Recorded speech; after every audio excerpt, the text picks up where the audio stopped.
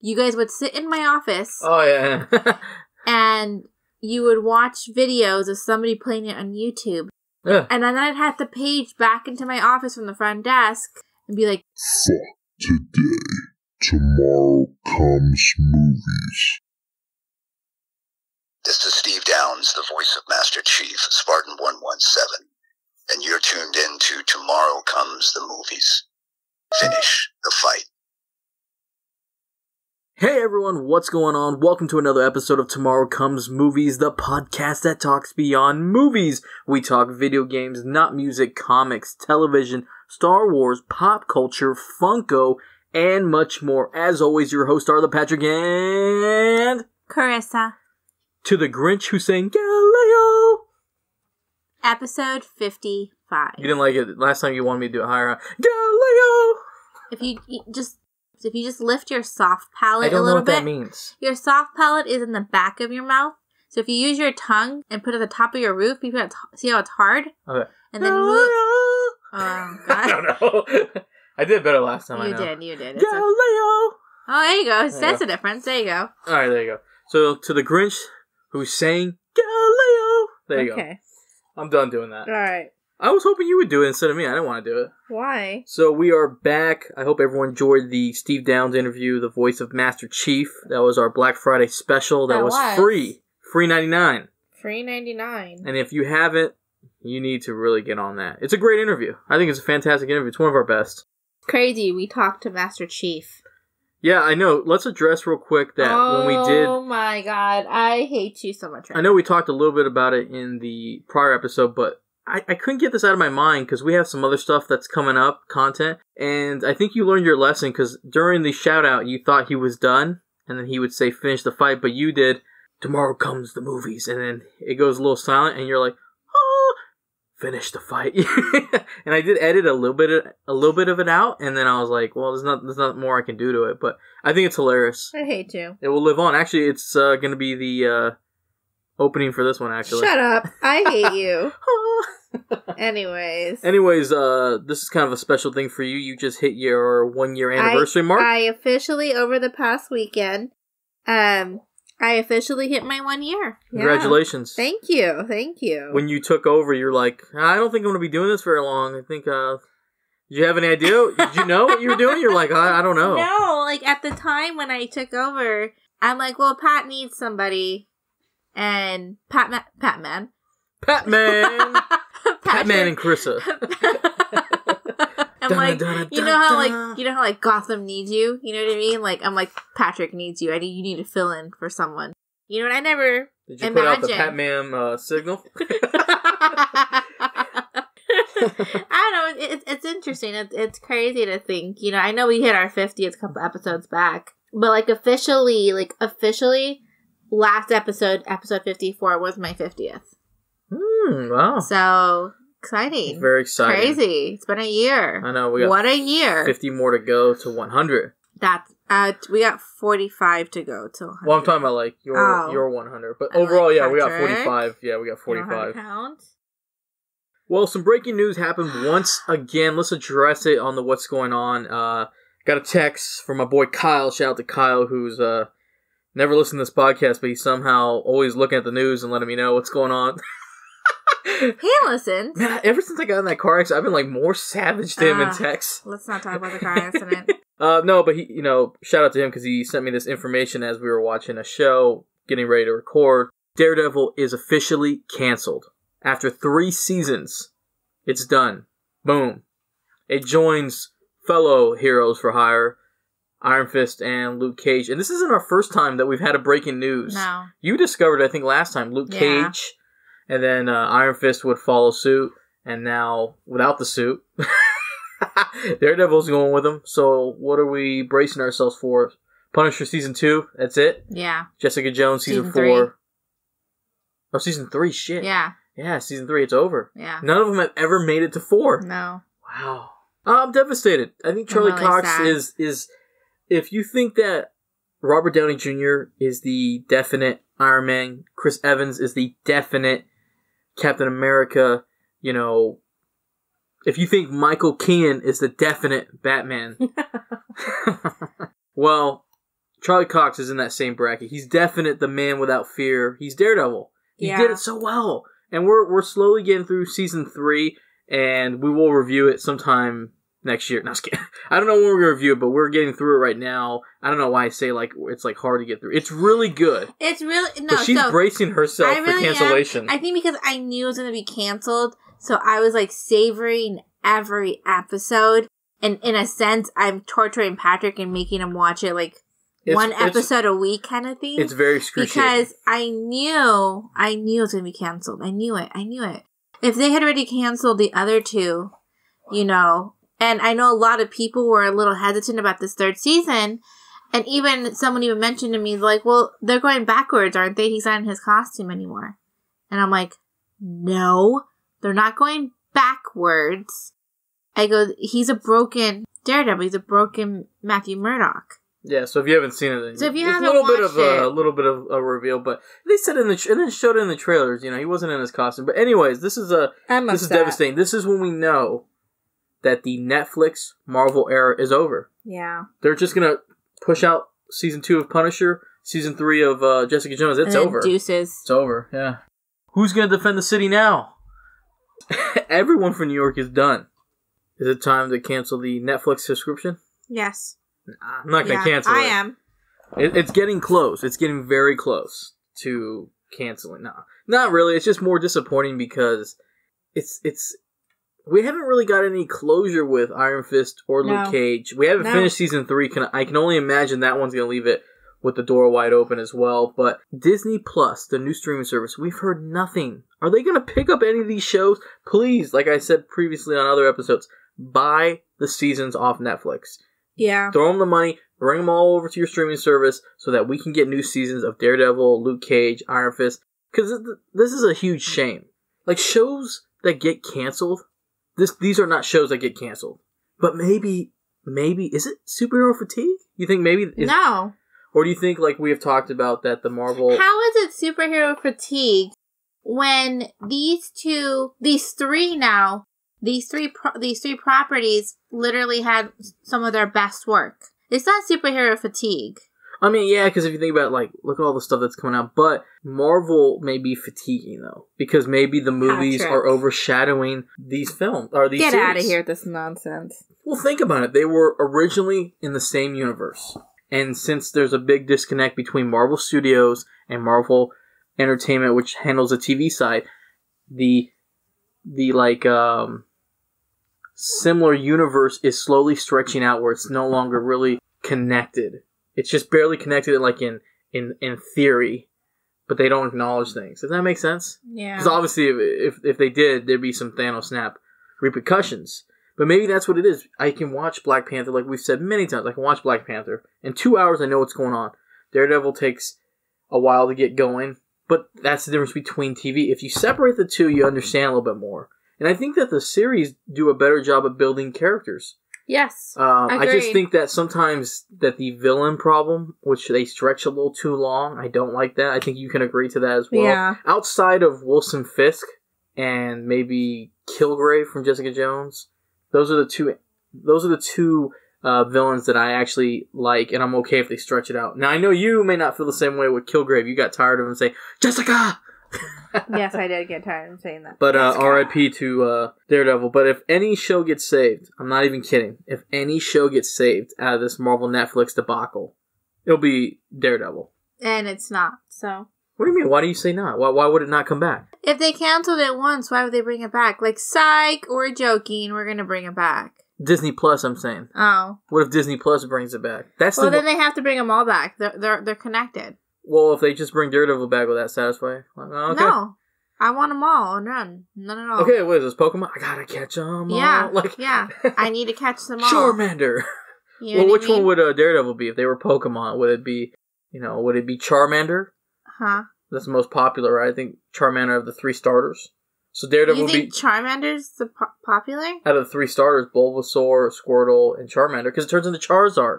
That is true. So I would say that Daredevil is uh Charmander. Who is fire. Bulbasaur? That would be Luke Cage. Okay, and then Jessica Jones, Squirtle.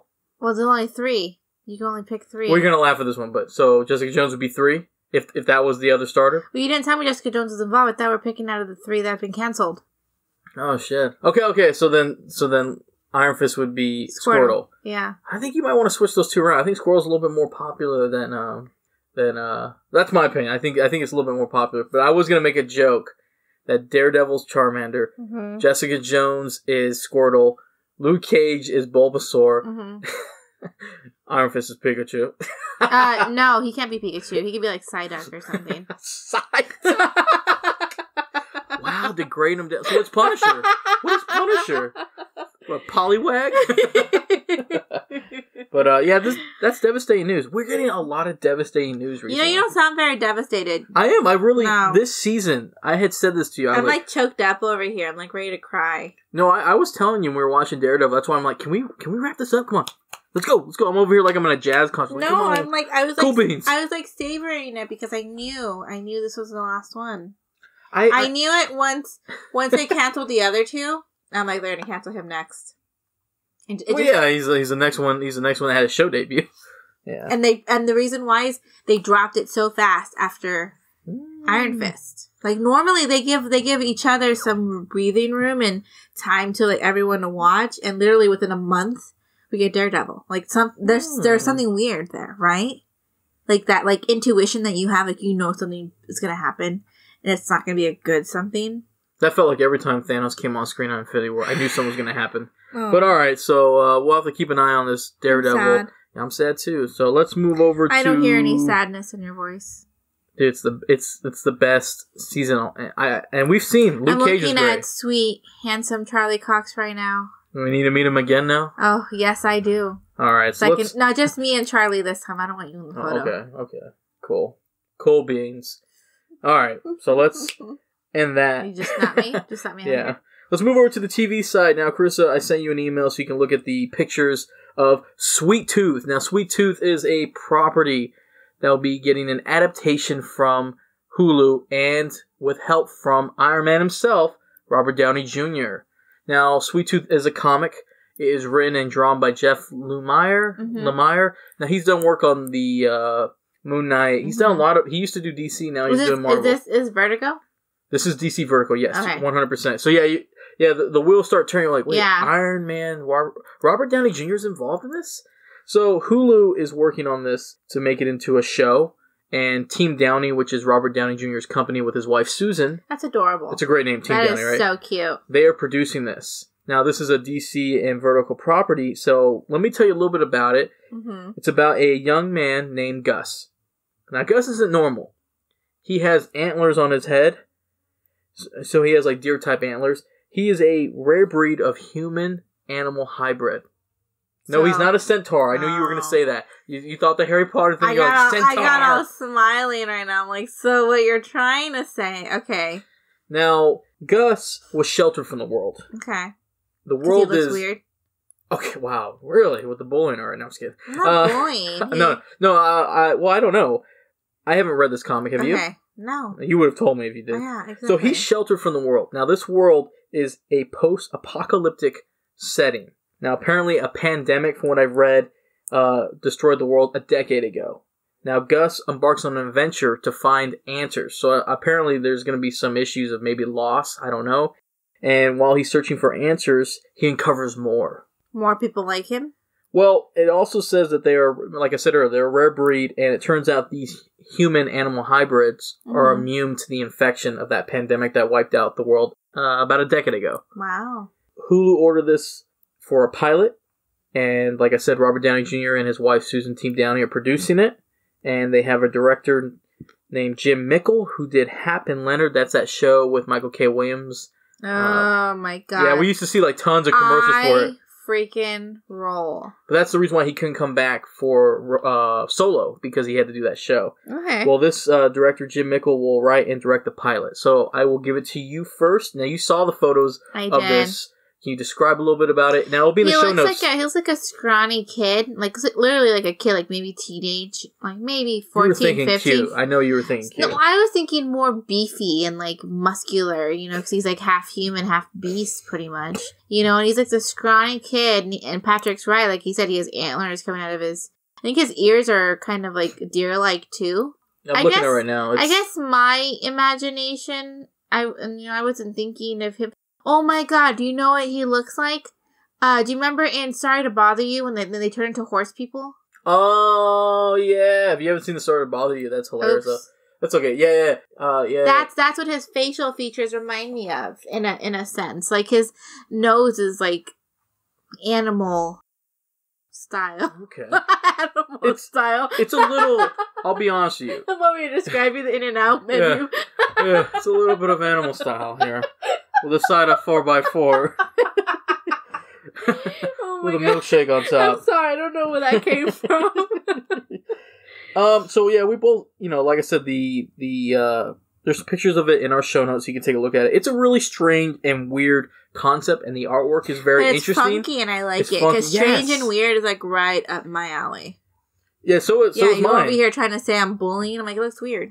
I, I think it looks fantastic. Uh, I'm interested in knowing more because this this little description that we got, you know, I want to know about this pandemic that wiped the world out. I want to know about these know rare if he finds hybrids, more, and then like a whole Yeah. army of them come.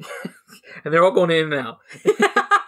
Uh, yeah, exactly. And he's going to uncover more. So what more can he uncover? I don't know. You know, so, like- interesting, So it's interesting. interesting, right? You're like, ooh. And then Robert Downey Jr. producing this. We don't hear much about Robert Downey Jr.'s Team Downey Productions No. doing a lot. So to me, this sounds like a comic that I need to read, and this sounds like a show I need to see. Now, Hulu's doing a good job because we've talked about that we have.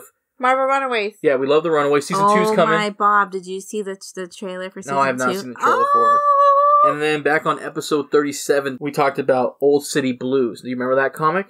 The one Kerry Yeah, Washington's yeah, going to be. yeah, Yeah, yeah, and Gore, uh, Um, Gore Ver, uh, um, Verbinski is going to be. We did that one with working on Breath, right? Yeah, Okay. that's the one where the futuristic with the robots, Yeah. yeah. and the humans. I'm up for this. This is what I want. I'm just curious with you, like you were saying, are there more of them? Obviously, they're rare. And how is it going to look? Is it going to be CGI? There's going to be makeup? What are we getting? You know what I mean? And if it's a pandemic and there's an infection, are there like are there like more deranged ones? Ooh. You know what I mean? So I don't know, but this is the right maybe, direction. Maybe there are more beefy ones. Oh, they, yeah, for you. And in and out. no, but uh, I think you can agree. We we do we use Hulu. You need to stop doing that. I'm gonna end up spitting out what I'm drinking. Well, it's gonna go straight to me anyway. well, for for us, we we use Hulu. We watch a lot of shows that are on Hulu. Not as much original content. We should watch The Handmaid's Tale. We know. Well, we'll get on at some point, but Hulu isn't like a go-to know, there's place. a lot of things to watch. Oh yeah, but think about it. Hulu has The Runaways. Oh, I love the Runaways. That's like the only original content. That, Gert is my favorite. yeah, but I love Gert. if I'm right, you gonna before Netflix canceled all the series, you had the Marvel Netflix. Yeah. And then Amazon had Don't talk about that still. So Amazon has has some original shows. Well, we haven't gotten that one either, but they get a lot more attention. Hulu doesn't have as much attention, so this is a great pickup for Hulu. Mhm. So I'm curious to see this. You think Robert Downey makes a cameo? Oh, that'd He's- be awesome. He's the buff centaur looking dude. yes, yes, please. Now with Jim Mickle, I didn't really touch on that. Don't know much about him, but I know that Hap and Leonard got really good reviews, so this is probably a great choice. If he's going to write and direct the pilot, he already has knowledge with TV with Mhm. Hap and Leonard. I think he'd be a good choice. All right, well that's it. I got for the uh, TV news. Sweet tooth. You know when That's you a weird name. Don't you want to know what that means? Yeah. So when Yeah. they first said that, But he's eating chocolate in the um. Yes. Yeah. He's, oh, maybe he has a sweet, Sweet tooth. tooth. Oh, Oh, snap! Wow, we're morons. All right, so let's uh, let's go over to the movie news now. Do you know anything about Five Nights at Freddy's? oh my god. Okay, so all I know about this game Okay, here we go. is when you and my brother used to come to work with me so we didn't have to drive around and we go to the movies after work and get lunch, you guys would sit in my office oh yeah. and you would watch videos of somebody playing it on YouTube. yeah. And then I'd have to page back into my office from the front desk and be like, keep it down. I hear you guys screaming. You guys are like, ah, what is that? It was, it was mostly you, Patrick. I almost punched your computer screen at work. Yes, you told me. that. That's not okay. I was, that's a new screen. So, since you don't know what Five Nights at Freddy's No, is, I don't know what it is. it's getting a movie. So let me tell you what it is. and it I is. know it's very popular. So, but it's finally getting a film adaptation. Do we works. need? F- I'm getting tired of this. Let's see what you think of the concept. Okay. so this is a mobile game. Now, in this mobile game, hmm you are a brand new, fresh security officer. Oh, okay. So it speaks to you. Yeah, I once was a security officer who worked late night shifts. Except I didn't work at a pizza parlor. Now this is at Freddy Fazbear's Pizza Parlor. I think it's a pizza parlor. It's like a Chuck E. Cheese, you know, the animatronics. Oh, I don't like that. Okay. Those things okay. scare me. Well, okay, then you're Because they're gonna come to live one day and they're gonna eat you. You might be uh you might be in those words of like I don't know if they need to make a movie about this. So you're a new officer who has to sit in front of all these cameras. You have Mhm. two doors next to you that you can Are control. you by yourself? you're by yourself. Oh, the cuckoo's gonna come out and get you. now Is it at night? yes. Oh, shit. It's like early morning, like to like I think midnight to six. That's when the scary stuff Okay. comes out. Okay. Well, I used to work it, so I, yeah, I saw some scary stuff. Okay, so you're at the you're at this pizza parlor I'm at getting night. chills right now. Okay, oh my all right, god. ready? Okay, I'm like so myself you up. have two doors. You have two doors to get in this building. So you're sitting there. You can operate. You can shut them from your your desk. You Mhm. can watch the cameras. You can Mhm. turn on lights by the doors to see if there's anybody there. Okay. Now, your boss leaves you a voicemail each night telling you instructions. Now, apparently, at night the animatronics come to life and want to kill you. Oh hell no. So you can see them in their in their room. Uh-huh. Now, as you're flipping through your cameras and you're shutting the doors, you have 100% batteries. You have to conserve it. But as you're looking at the camera slowly Your battery starts to die. well, it starts to die till you get to the next day. But you have to conserve it. As you're looking at those, the animatronics start moving toward coming to get you. Oh no. So now you see why I was screaming because it would pop up. And when they get too close to the door, you Yeah. can shut the door and they'll eventually leave and try to come around. So think of it like this: you could just shut the doors and not look at the cameras, but you're it's gonna die. You have to play it smart. So you have to be you real. to strategize. yes, and it could require them coming very close to you, so you'll see Oh, them pop up. Fuck that. And you have to do this for like five nights. Well, five nights of Freddy's. Ah, get it, get go. it. Oh, good one. All right, so I don't know. That sounds scary. This is man. from creator Scott Cawthon, who's actually working on the film. So he's actually involved in this film. He's writing it.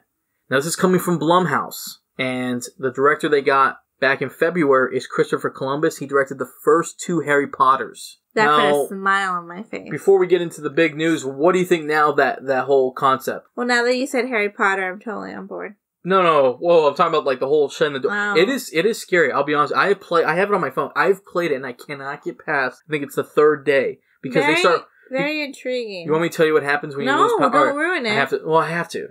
Okay. All right, now I don't want to watch it. So what? It doesn't mean it's gonna be the same way. But when you let's say you run out of power before you're because once you reach a certain time you can go home and you're saved. If you lose power, it all goes dark and you start hearing like a weird noise and then they usually jump at you from like your desk and kill you. Isn't that cool? So what do you think of that concept? You didn't think the mobile game was like that, did you? No. What did you think it was? Just curious. I don't know. All I know is I hear you guys screaming and giggling, and I'm like, I don't know what's going Yeah, on. there's a lot of giggling. No, but um, I actually think the game's interesting. It's a cool concept. I know I got into it really late. I know it was really, it was really a bigger game. I think by the time I had gotten into it, but um, I enjoy it. So the reason why we're talking about this Five Nights at Freddy's now, this is coming from Blumhouse, as I said, and they already have a director. Ooh, Blumhouse. Yeah, they, yeah, perfect place, right? I think that's a perfect home for this. Yeah. because they, they obviously know how to work on these type of things. This requires some CGI though, because if you see- you've seen some of the merchandise at Target, Yeah. yeah, so it's a big deal. All right, well, Scott Cawthon or Calhoun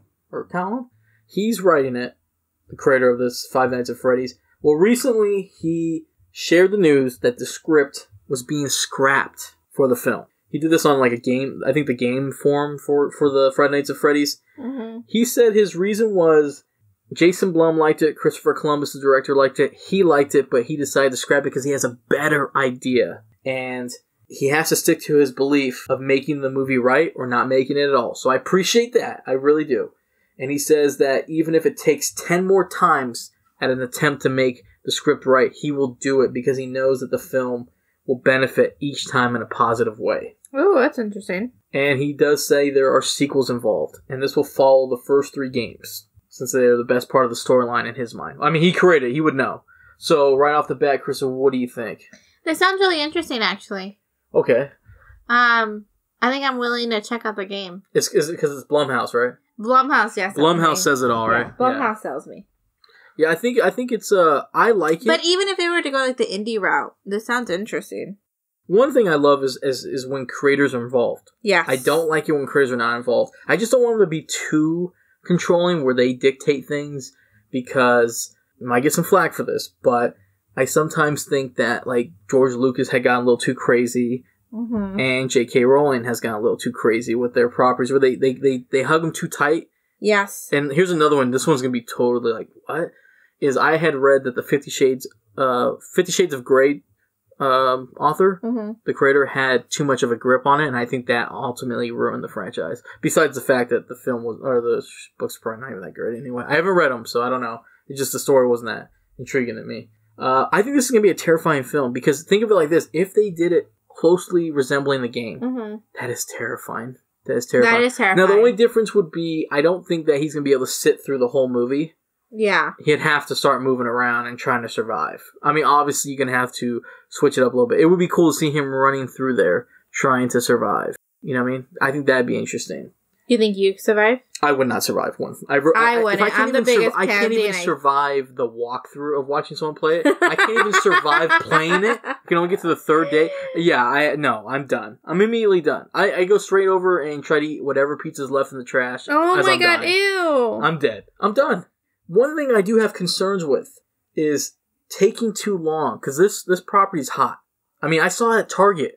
Fire. saw- yeah, you were like, wait, isn't that the game you were like jumping from? Like when that is at Target as piggy banks, blankets and stuff, it's a big property. I think you got to capitalize. You have to have it out by 2020 at best. Because yeah, if you go don't past that, don't wait too long. even at 2020, it's a little stretch, but I trust that Scott Cawthon has an interesting idea. I'm willing to give him the benefit of the doubt. Blumhouse has done a great job of allowing creators to have a hold on their project. Todd McFarlane with Spawn, uh, Spawn, Spawn, yeah. having Spawn, letting him direct his first film with his baby. Sure, I'm up for that. Blumhouse, I trust. I don't think they've put out a bad project in, in a, quite a while, and have done a great job with budget too.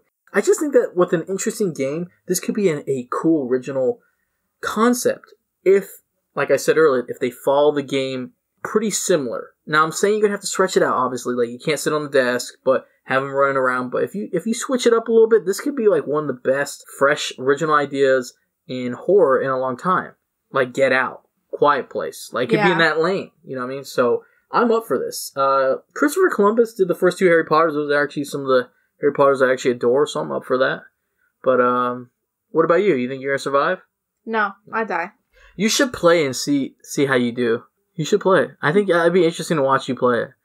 Cause you- Why? Well, I just want to see My how. reaction? yeah, I think it'd be hilarious to watch you react to it. Hmm. We'll see. Maybe we'll throw it up. Yeah, Maybe we'll record it or something. but it's scary. I'll be honest. When you play the game and you'll see one of them staring at you, No, like in front I'm of the done. screen, I'm, done. I'm done now. You telling me that? and then like you'll see ones like by the door, like like you'll flash on the light and be like, it's just it's just there, and then you gotta shut Does the it door. come and eat you? yeah, they're trying to kill you. Oh. There's a story to it. I don't want to tell you. I know a little bit about the story. It's pretty good. But uh, I'm up for this. So, yes, the Five Nights at Freddy's. Yes. Yes to getting it done immediately. Yes. No to taking longer than 2020. That's even True. stretching it for me. Preach. Thank you. So, anything else? That's it. All right. Now it's time to take a stroll down Superheroes Alley. What is Superheroes Alley? Superheroes Alley is our segment where we talk any and everything superhero comics related. All right, well, we got some DC news here. The Flash movie that we've been talking about on several episodes. You know, I, I went back to how long we were talking about it. We've talked about it since episode 13, Oh 155. God. So back on episode 13, we knew that the game night directors Hey man. Hey hey hey hit, now. hit, hit in the thing here. Yeah. So we know that the game night directors back in February, I think it was February or March when we talked about in episode 13, hmm that they got picked up to direct this film because this film has lost a lot of directors. We I feel like this film was never going to come out. Yeah, that's how I'm feeling too. Now they signed up to direct it. Now I guess apparently Ezra Miller says that the Flash film will get made. That's why we're talking about this. Whoa.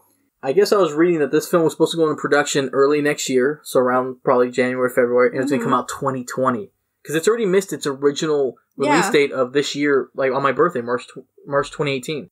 But damn, Fantastic Beasts and their success from the first one pushed the film back because Warner Brothers said this over the Flash um, because Ezra Miller is in Fantastic Beasts.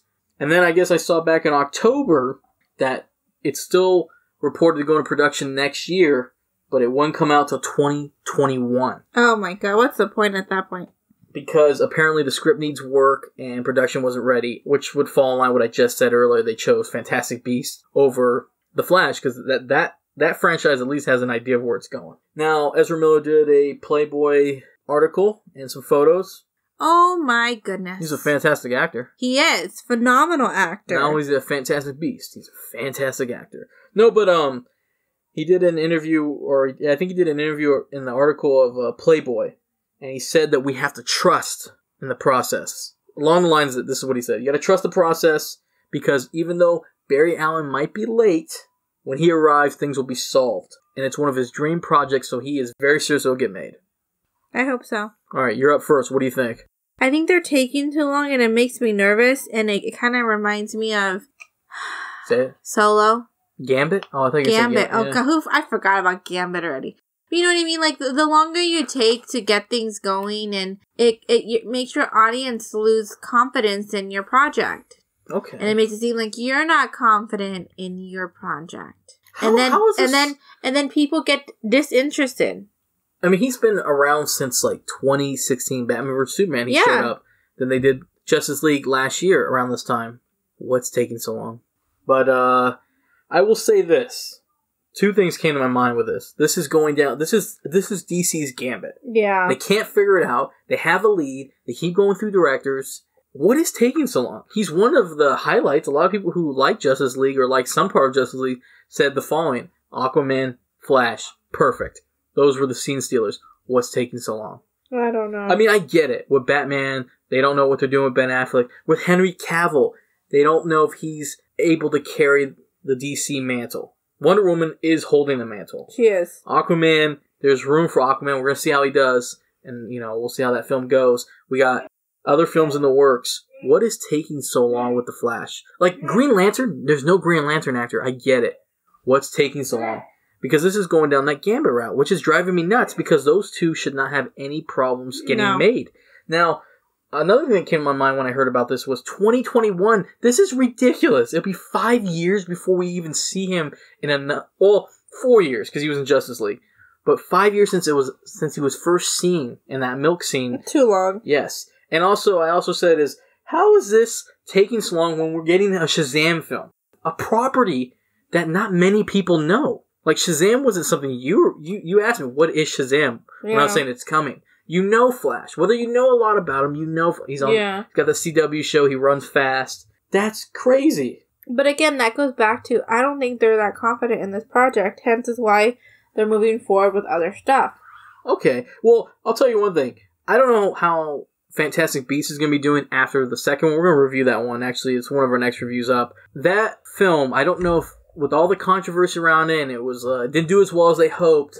I don't know how much of a a sure thing Fantastic Beasts is going to be anymore. Yeah, they might choose the Flash over. They might say, hey, you know, maybe we should wait a year with Fantastic Beasts. You know, the Harry Potter route was working, but maybe not anymore. And then I was thinking in my mind, also he's barely in Fantastic Beasts, so what is taking so long? But now I understand why he's this film, The Flash, is getting pushed back because of Fantastic Beasts. Because if I say it's kind of a spoiler, but we get why they've been they've been holding back the film because he's going to have a little bit of a big Bigger role, role. in the Fantastic Beasts franchise. Leave it at that. Don't spoil anything. No.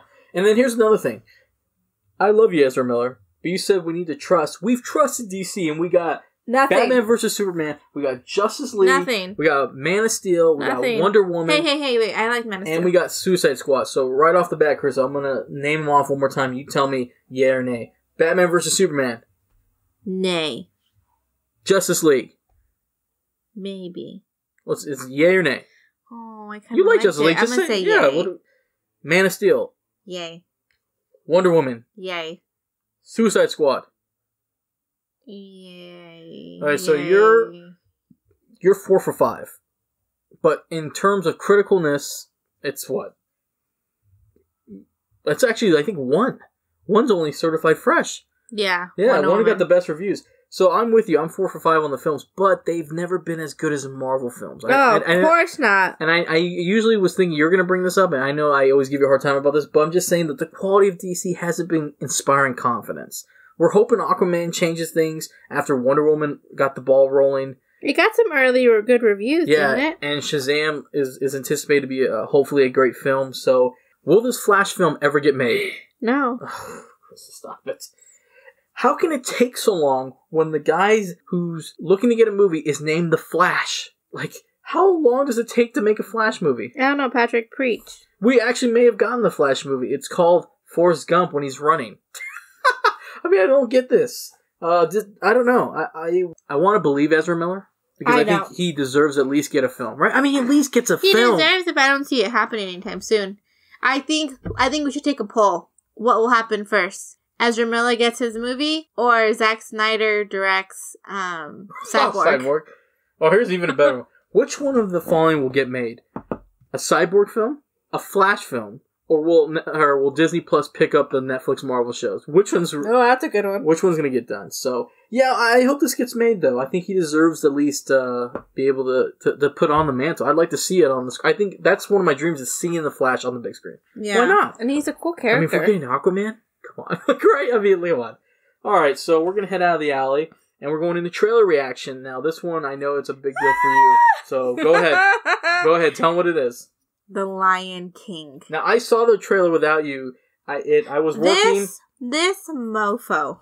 Thank this you. mofo. Thank you. Hi, So on Thanksgiving, I'm working on that Black Friday. he's working the last on our, episode. he's working on our episode. We just got done recording, and I go in the kitchen to help my mom finish cooking, and then I come back in here tell him something, and this mofo is freaking watching the trailer, and I'm like, "You selfish I turn around, I'm like, "Hey, you want to watch this?" Piece of released. shit!" No, he was already midway through the I thought it was fake, so I'm like, And I'm gonna watch it first. And then I come into the living room, and my dad's sitting on his chair with his iPad, and he's watching it too. And I'm like, "Are you kidding me?" My dad goes, "Hey, the Lion King trailer dropped." he was on. He was on Twitter, and I'm he like, doesn't watch much "I know, right? I Unless they're on know." And I go, "You know what? I'm F both of you." I go, "Mom, I'm put." I, I'm going in and out. I went. I went to the other living room. I go, "Mom, I'm putting on the Lion King." I'm She's gonna like, call Patman to the rescue. She was like, Chris, we don't got time for the Lion King. We gotta finish cooking.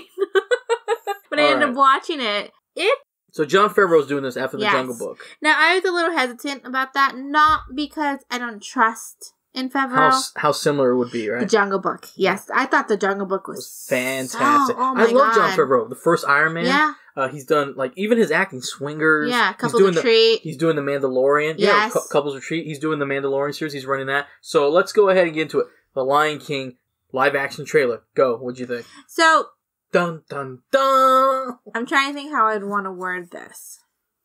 It was crap. No, just no, it wasn't crap. It was really good. My only concern, and now it has me thinking about Aladdin too.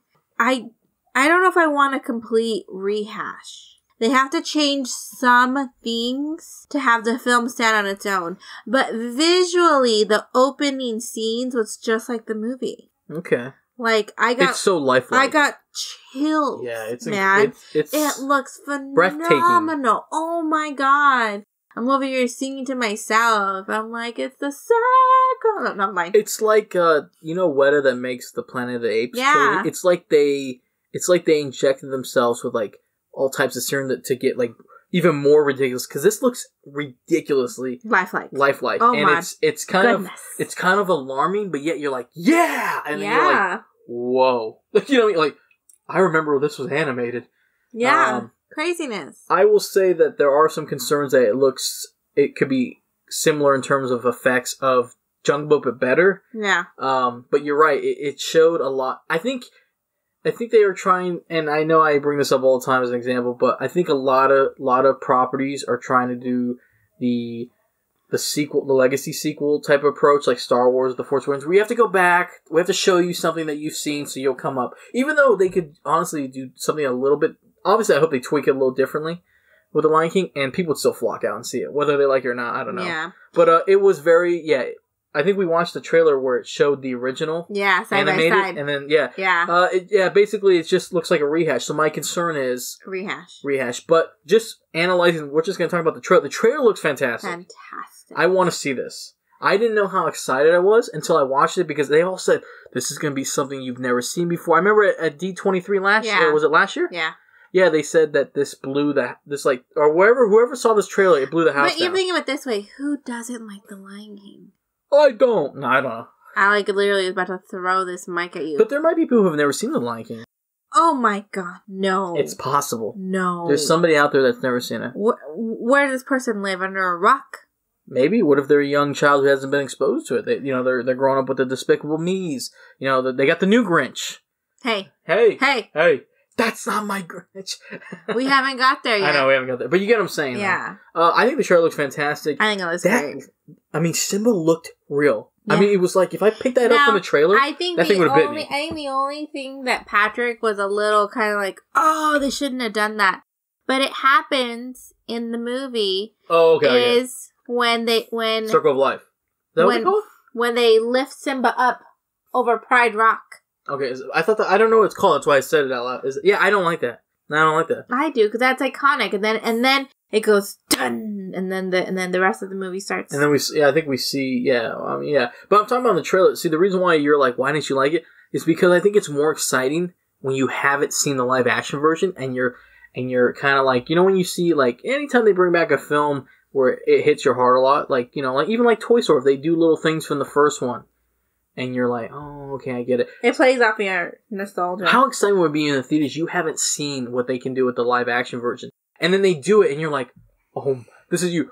Oh my god, I think that's beautiful. I think one of the things that I'm really interested to see how they how they recreate. Um, I just can't wait to be king oh, okay, okay. when they Well, have yeah, all we- the animals dancing around and stuff, or or when Timon's in his little like luau outfit Mhm. being a distraction. Like I want to just kind of, but I don't know. We'll see. But I think the trailer uh, definitely captured my attention.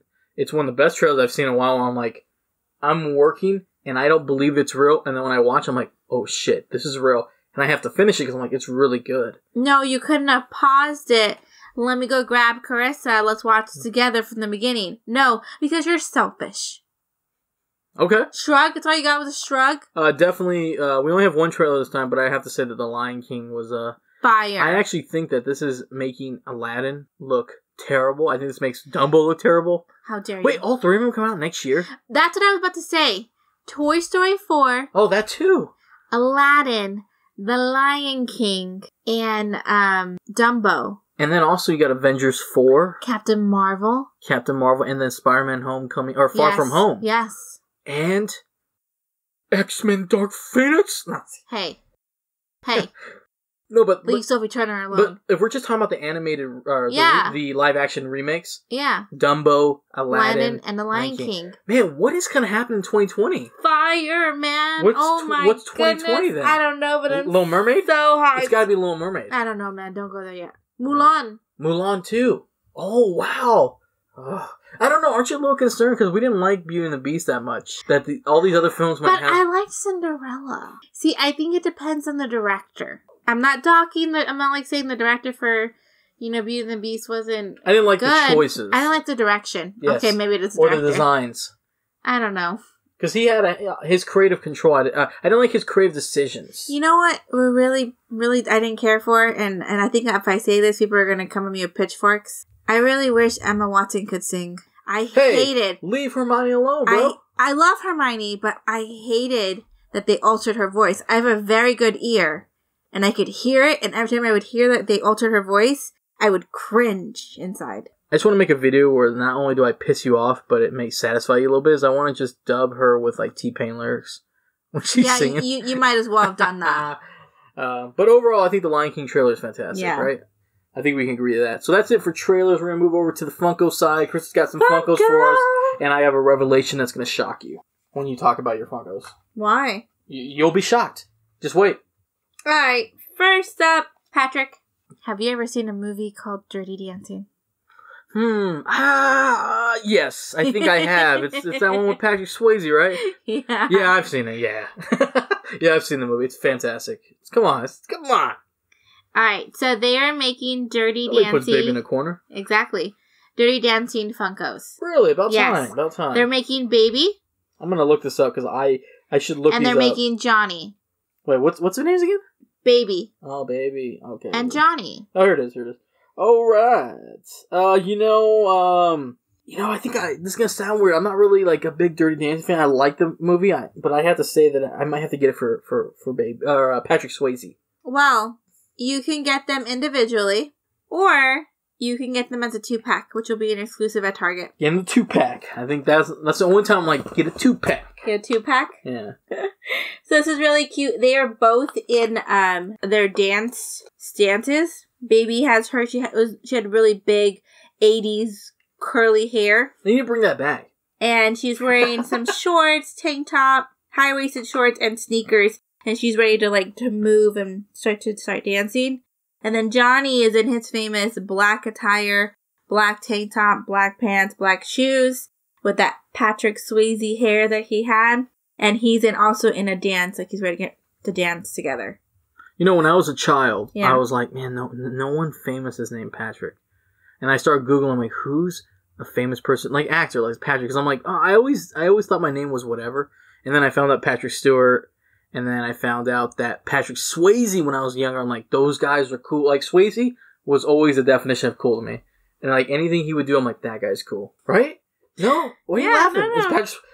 I'm I think- changing I- my name. I again. just think you're funny because it's kind of like I look at my name Patrick. Yeah, I was like, who's famous Patrick? I mean, like, But Patrick's such a basic name. I mean, a lot of Patricks. but like famous people, like Patrick wasn't like a first name famous. You didn't see many famous Patricks. Like you see a lot of last names, Sean or Sean or the guy from Save the Last Dance, Sean Patrick Thomas or Sean, uh, Sean or Sean Patrick Flanery. Is his name Patrick Flanery? I don't know.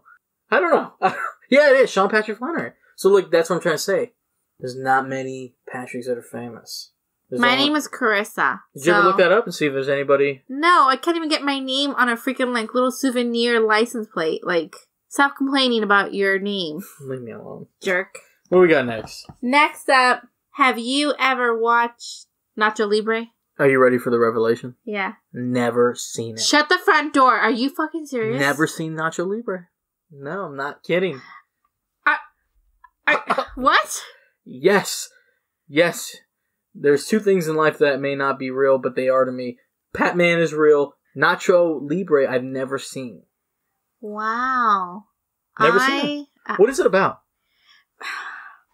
I know it's about wrestlers, but is it a story where he's trying to be a wrestler? Is that what it, I've seen the beginning of it? I, I think maybe. But So I've then you seen, have watched. Why are you lying? But I've never. No, I only seen the beginning. Like, it was like substitute, but I never finished it. So I only saw like the first like five minutes of. it. So I didn't know what it was. So explain it to me. I know Jack Black's in it. Yeah, Jack Black is in it, and you like Jack Black. I do. I do like Jack Black. I think he's a fantastic actor.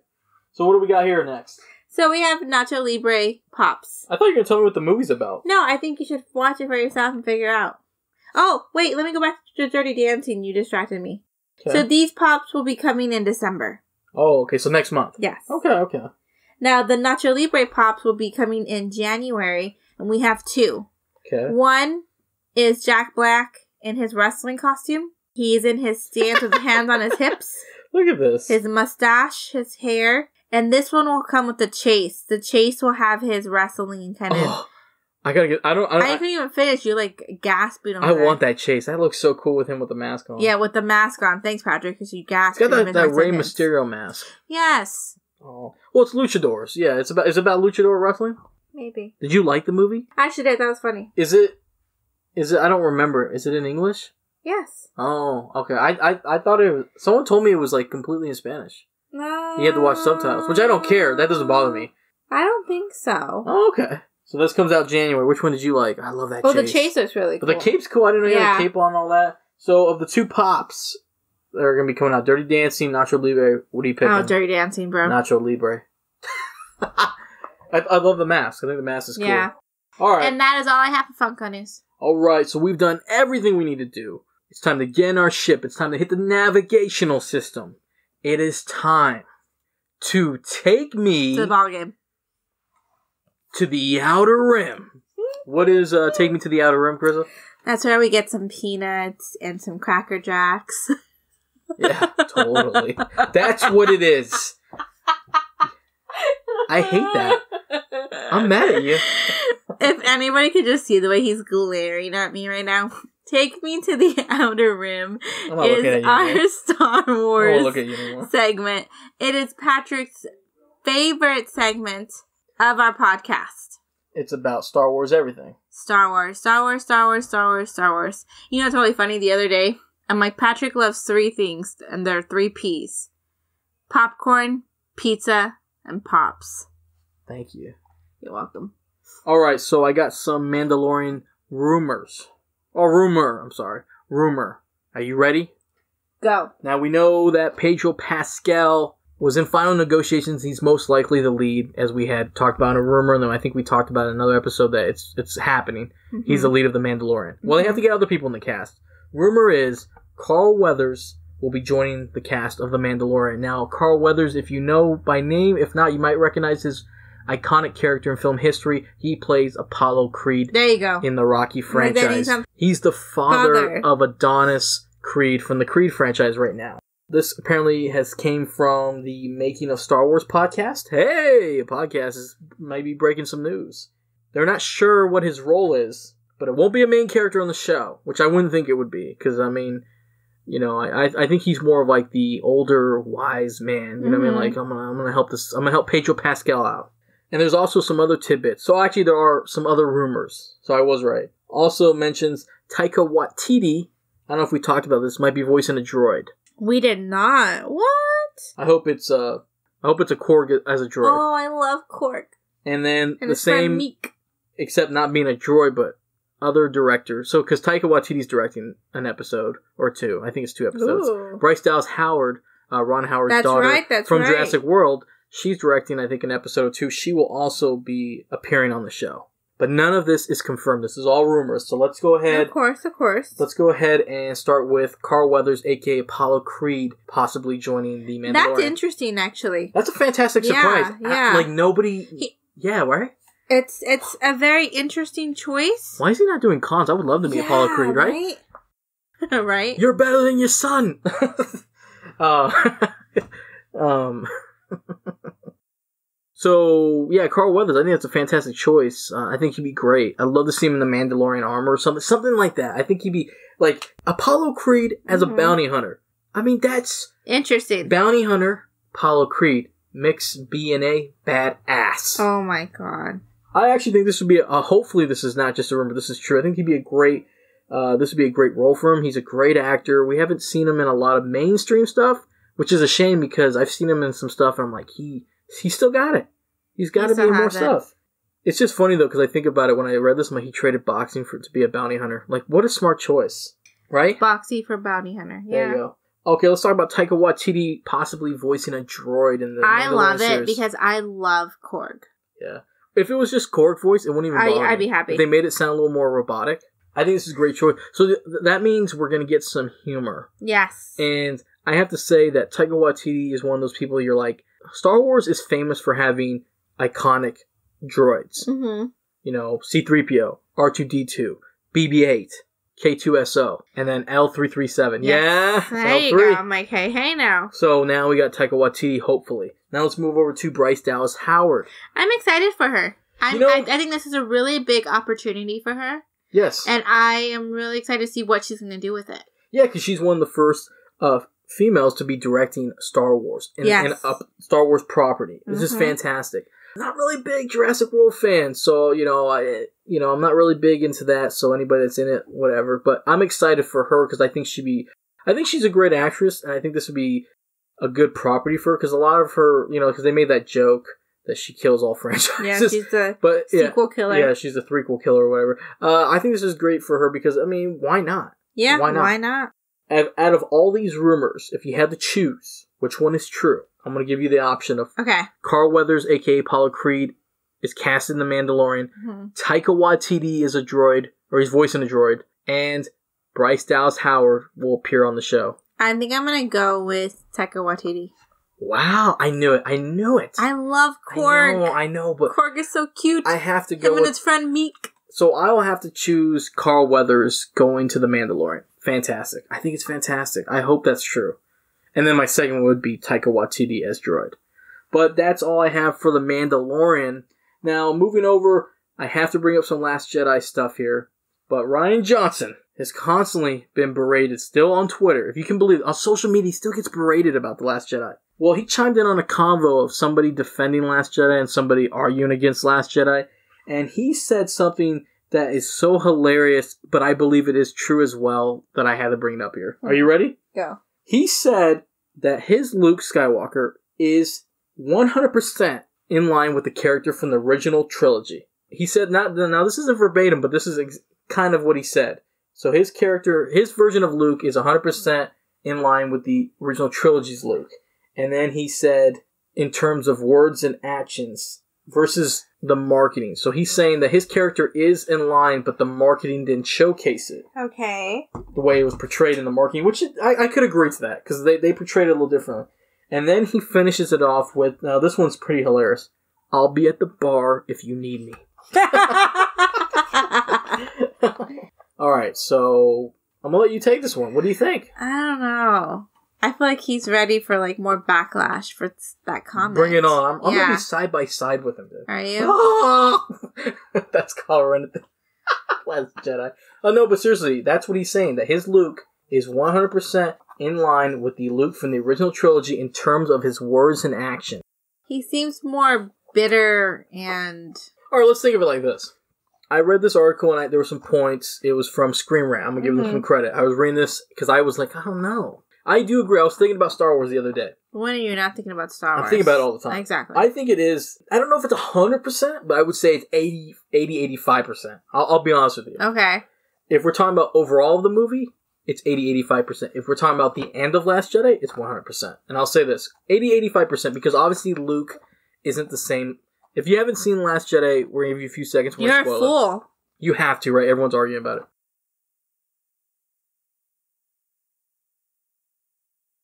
In the Last Jedi, you know it too. Luke isn't the same. He- No. he's bitter. Yeah. He's he's he's kind of a hermit crab. He's on his Yeah. own. He's a hermit, and he doesn't want to be a Jedi anymore. He He's doesn't believe in the Jedi, Force. and yeah, and he tried to kill his nephew. Yeah. Okay, so those He's right there, those right there, that's not the Luke that we remember. No. But I do agree with this though. His actions, if you remember Luke was everyone's like Luke was not like this, but if you look at it, back in the day, Luke was training with Yoda, made a made a brash decision to leave his training to go save his friends, even though he wasn't equipped to take on Darth Vader. Okay. Okay, so Luke makes a brash decision to try to kill his his nephew because he realizes that that man is horrible, right? I mean, he's horrible. He's worse than Luke's dad, right? Would you say Kylo Ren is worse? He's willing to kill his damn parents. Kylo Ren is lost. Oh yeah. And he needs guidance. And I don't think it was right for Luke to react so quickly when he could have prevented some of this. If he would have took a moment to step back and realize this young man needs guidance. Yeah, because like, or here's a good example: the Emperor and Darth Vader assumed. Well, the Emperor really assumed that that Luke would turn Mm-hmm. and take his place, take his father's place. Yeah. So Luke made that same decision by by saying, "Kylo Ren, there's there's no saving him. I got to kill him." Moving over from that 80 85 percent, that's what I'm trying to say. There's a little bit difference with him being a hermit, but with that last point, that's in line with what Rian Johnson's saying.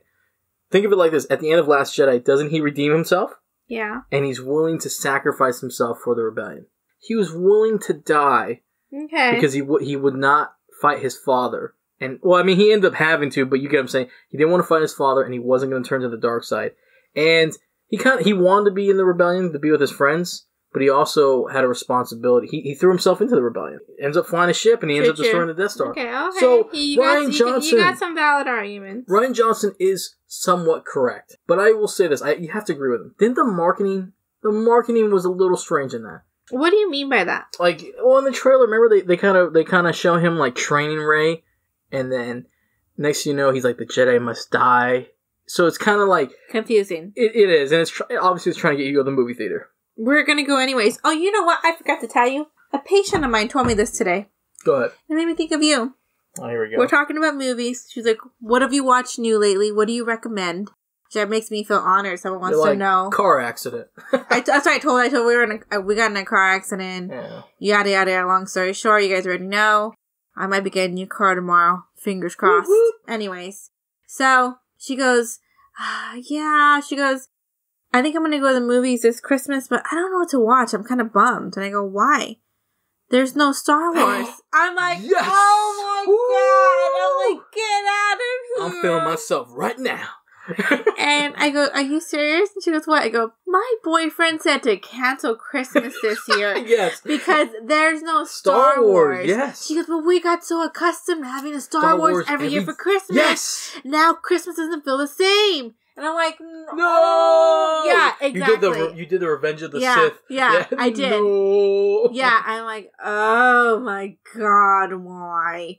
And so I was like, ah, I have to tell him you said this. He's gonna be so happy. Actually, are we canceling Christmas? We're spending it with your mother, so I don't think so. I might have to lure her. Chris is like, don't do that. Don't no. you dare. Um, And so I told her you can go see Mary Poppins, and she laughed at me.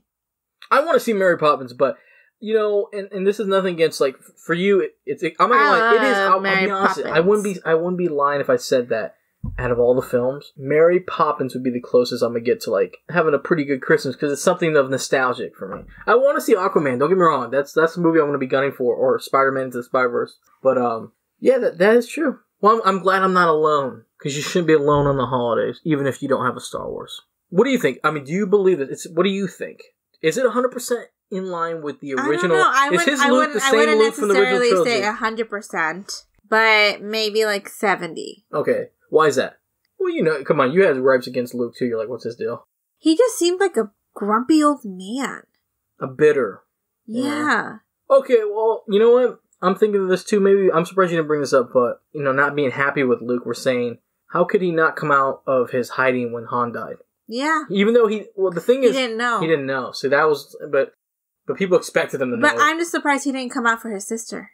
that is true. You know, like especially what you just said. Like he, you're right. He was a little irrational, and he did just. He's very impulsive. Yeah. And when he found out that Han was dead, he didn't rush to his sister's side. So that's how he's not the same. That's how that differentiates the Lukes. Hmm, okay, see, that's exact. But uh, I, I think we can agree at this. yeah. It it may not be 100, percent but I think it's it's pretty close. I can't believe literally almost a year later, We're still talking about we're still talking We're about still this. talking about the best damn Star Wars Whoa, movie that's ever whoa, came whoa, out. I can't believe this. Whoa, whoa. The best new Star Wars since the original trilogy. Last Oh, Jedi is. Empire Strikes Back, and nobody wants to believe no. Sorry, Pat. I have to no.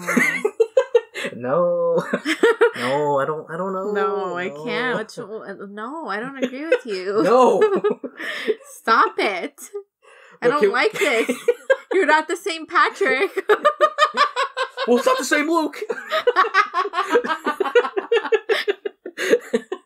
uh, uh, Why is it every time we're in the freaking outer rim, there's controversy and there's statements that are said? We get, we're getting claps over here. Claps in the background because it's true. And I can say, and I think you can say that the one thing we can agree at is we will be seeing Rian Johnson at the bar because we're not done talking about this. Yeah, and hopefully he could bring some of his Porg friends. Oh yeah, it'd be great. I love the Porgs. Actually, if anything, the greatest thing Rian Johnson ever did for Star Wars was bringing the Porgs into fruition because they are awesome. Chris is pulling out a Porg right now. Or you can't have the Porgs without the Last Jedi, so you have to acknowledge it. What's your favorite Star Wars film since the original trilogy? One hundred percent. Since the original trilogy? I'm just curious. Mine's Last Jedi slash. I don't know. Because you really love Rogue One. I love. Yeah, I remember. Do you remember when we saw Rogue One and I walked out and said, "This movie is better than The Force Awakens"? And I remember getting so much shit about it from everyone. What are you talking about? That movie's nothing compared to The Force Awakens. I'm like, just wait till 2017 because Rian Johnson's gonna put out the best Star Wars, and I was right. But What was your favorite uh, Star Wars? I mean, you like Rogue One a lot, right? Or is it the For? I think it's The Force Awakens, right? It is. Yeah, it's The Force Awakens with you. Um, I think the reason why is it's it was nice to get a bigger female presence oh yeah. for Star Wars. a lot of I people mean, aren't happy about that either. Well, they can go, You suck a big one. That's Yeah. what I say. but not no. Just not only that, like Star Wars is so inspirational and it's touched so many people's lives. But one of the things that I don't, I I wanted to see more of, and I feel like we've gotten the new movies. Is a stronger female presence and a female lead. I mean, we had Mm. Princess Leia, and she was a great start to female empowerment. You know, we had Padme; she was great too. But it was nice to see. Rey. She chose Anakin. No, I was kidding.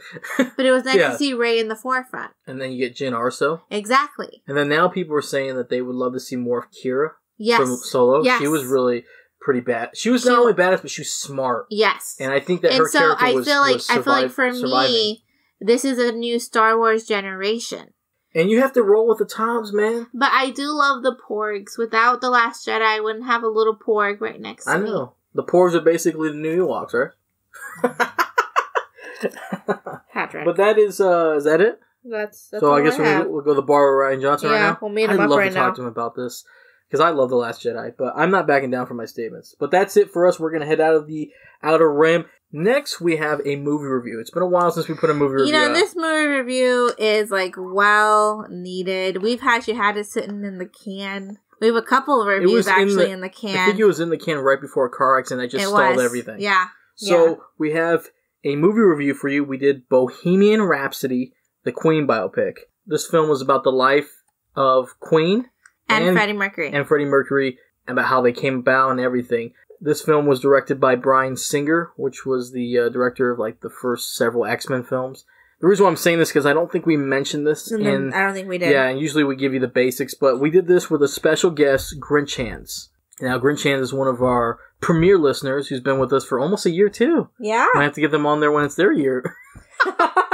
But uh Grinch Hands, we've been wanting to get on. They are we had the privilege of meeting them in Houston when we did Pandemic Tour. yeah, episode forty three, the Grinch that rocked Pandemic Tour. Yes, they gave him that title. yes. Uh Grinch Hands is huge in the film, yes. and we love their tweets. They have some oh, hilarious tweets. hilarious. And you're gonna hear us say this again verbatim because you know Grinch Hands rocks. Yeah. So go ahead right now and listen to the Bohemian Rhapsody movie review with our special guest. Grinch, Grinch Hands. I hate you. All right, so we're gonna review Bohemian Rhapsody that we saw, but we have a special guest. I'll let Krista go ahead and take over. Our special, I, I know what to say really quick. Our Okay. special guest for today is Grinch Hands. How are you doing? Hi. I'm doing great. Now, Grinch Hands is our uh, Uber listener. Yes, Um, so you actually. one of the ten listeners. that I know one of our one of our ten listeners that listen to us. Um, now you found us through hashtags on Twitter, right? yes, I, I, I, well, actually, I kind of, kind of, because I was looking at the Star Wars hashtag, and I think that's how I found you guys, because I wanted to, to learn, like, stuff, and then I found one of the content that, that was hashtag with Star Wars and Chewbacca. I was like, oh, hmm. So I clicked on your review, I mean, your, your podcast, and I heard the review from Mother, that's what hooked me. Oh Because it was God. about- like yeah, it was like two words long, which is like how it should be. I was so mad at Patrick for that movie. Oh, mother. I actually wanted to see it again just because I couldn't believe that's what I had saw. I was just Yeah. astonished. But uh, Didn't did it get a Rossi? Has the Ra- have the Rossis already happened? I don't know. You know what those are, right? For like the worst movies. oh, the Razzies, or is it called Razzies? I don't know. Oh, I know. Yeah, yeah. Well, yeah, I don't know. I don't know. I'm sure it won a bunch, right? Probably. Oh no, no, that one movie probably won a lot too. Flatliners. Remember that Oh, movie? The God, remake. that was oh bad. man, I, I heard I that. didn't even watch it. I know it's bad. but uh, yeah. So yeah, Grinch Hands has been uh prominent in our history of our podcast, and then Yeah, we met them we- at Pandemic Tour in Houston. We did, and pretty sure the listeners have heard us, men- us mention Grinch Hands. It got to the point where Patrick was like, "Can you stop talking about Grinch Hands on the episode? Because no one else is gonna want to listen to us when all you do is rave about them." Well, I mean. I love Grinch Hands too, but I was just like, someone's gonna be on here going, nobody cares about me. Nobody cares about me. But that's but that's just because I, I did counter if you do listen to back on those episodes that nobody else makes themselves known. It's not my fault. Yeah, it's not my fault they interact with us. I've been wanting to get Grinch Hands on here because Yeah. they love movies They do. and I their do. tweets are hilarious. So Thank as you. soon as we are uh, done with this review, I'm gonna have them plug in that Twitter because it's it's it's one of the hottest Twitters out there. oh I, yeah, I get it. I, I chuckle quite a I bit. I always laugh at your tweets. I'm like, "Oh, she's such a savage." I saw that. The the Henry Cavill one, I think, was like the one that got the most attention recently. Yeah. yeah. yeah. I I am uh, definitely there to just speak my thoughts, so let it be known. and I love it. But um, you. you want to go ahead and you want to get into Bohemian Rhapsody, Chris? Yeah, so um Grinch Hands, I'm gonna let you open this up. Uh this is our spoiler free section. So for those of you listening, if you have not watched the movie, you can listen up till we say the spoiler part. Then please stop listening, go watch the movie, come back and listen to the rest of it. Or if you want the movie to be spoiled, keep listening, I guess. Yeah, or go to Wikipedia. And... That's true, true, true, oh. true. All right. So, what were your initial thoughts on the movie? So I went in as a Queen fan, mostly. Grew up listening to their music.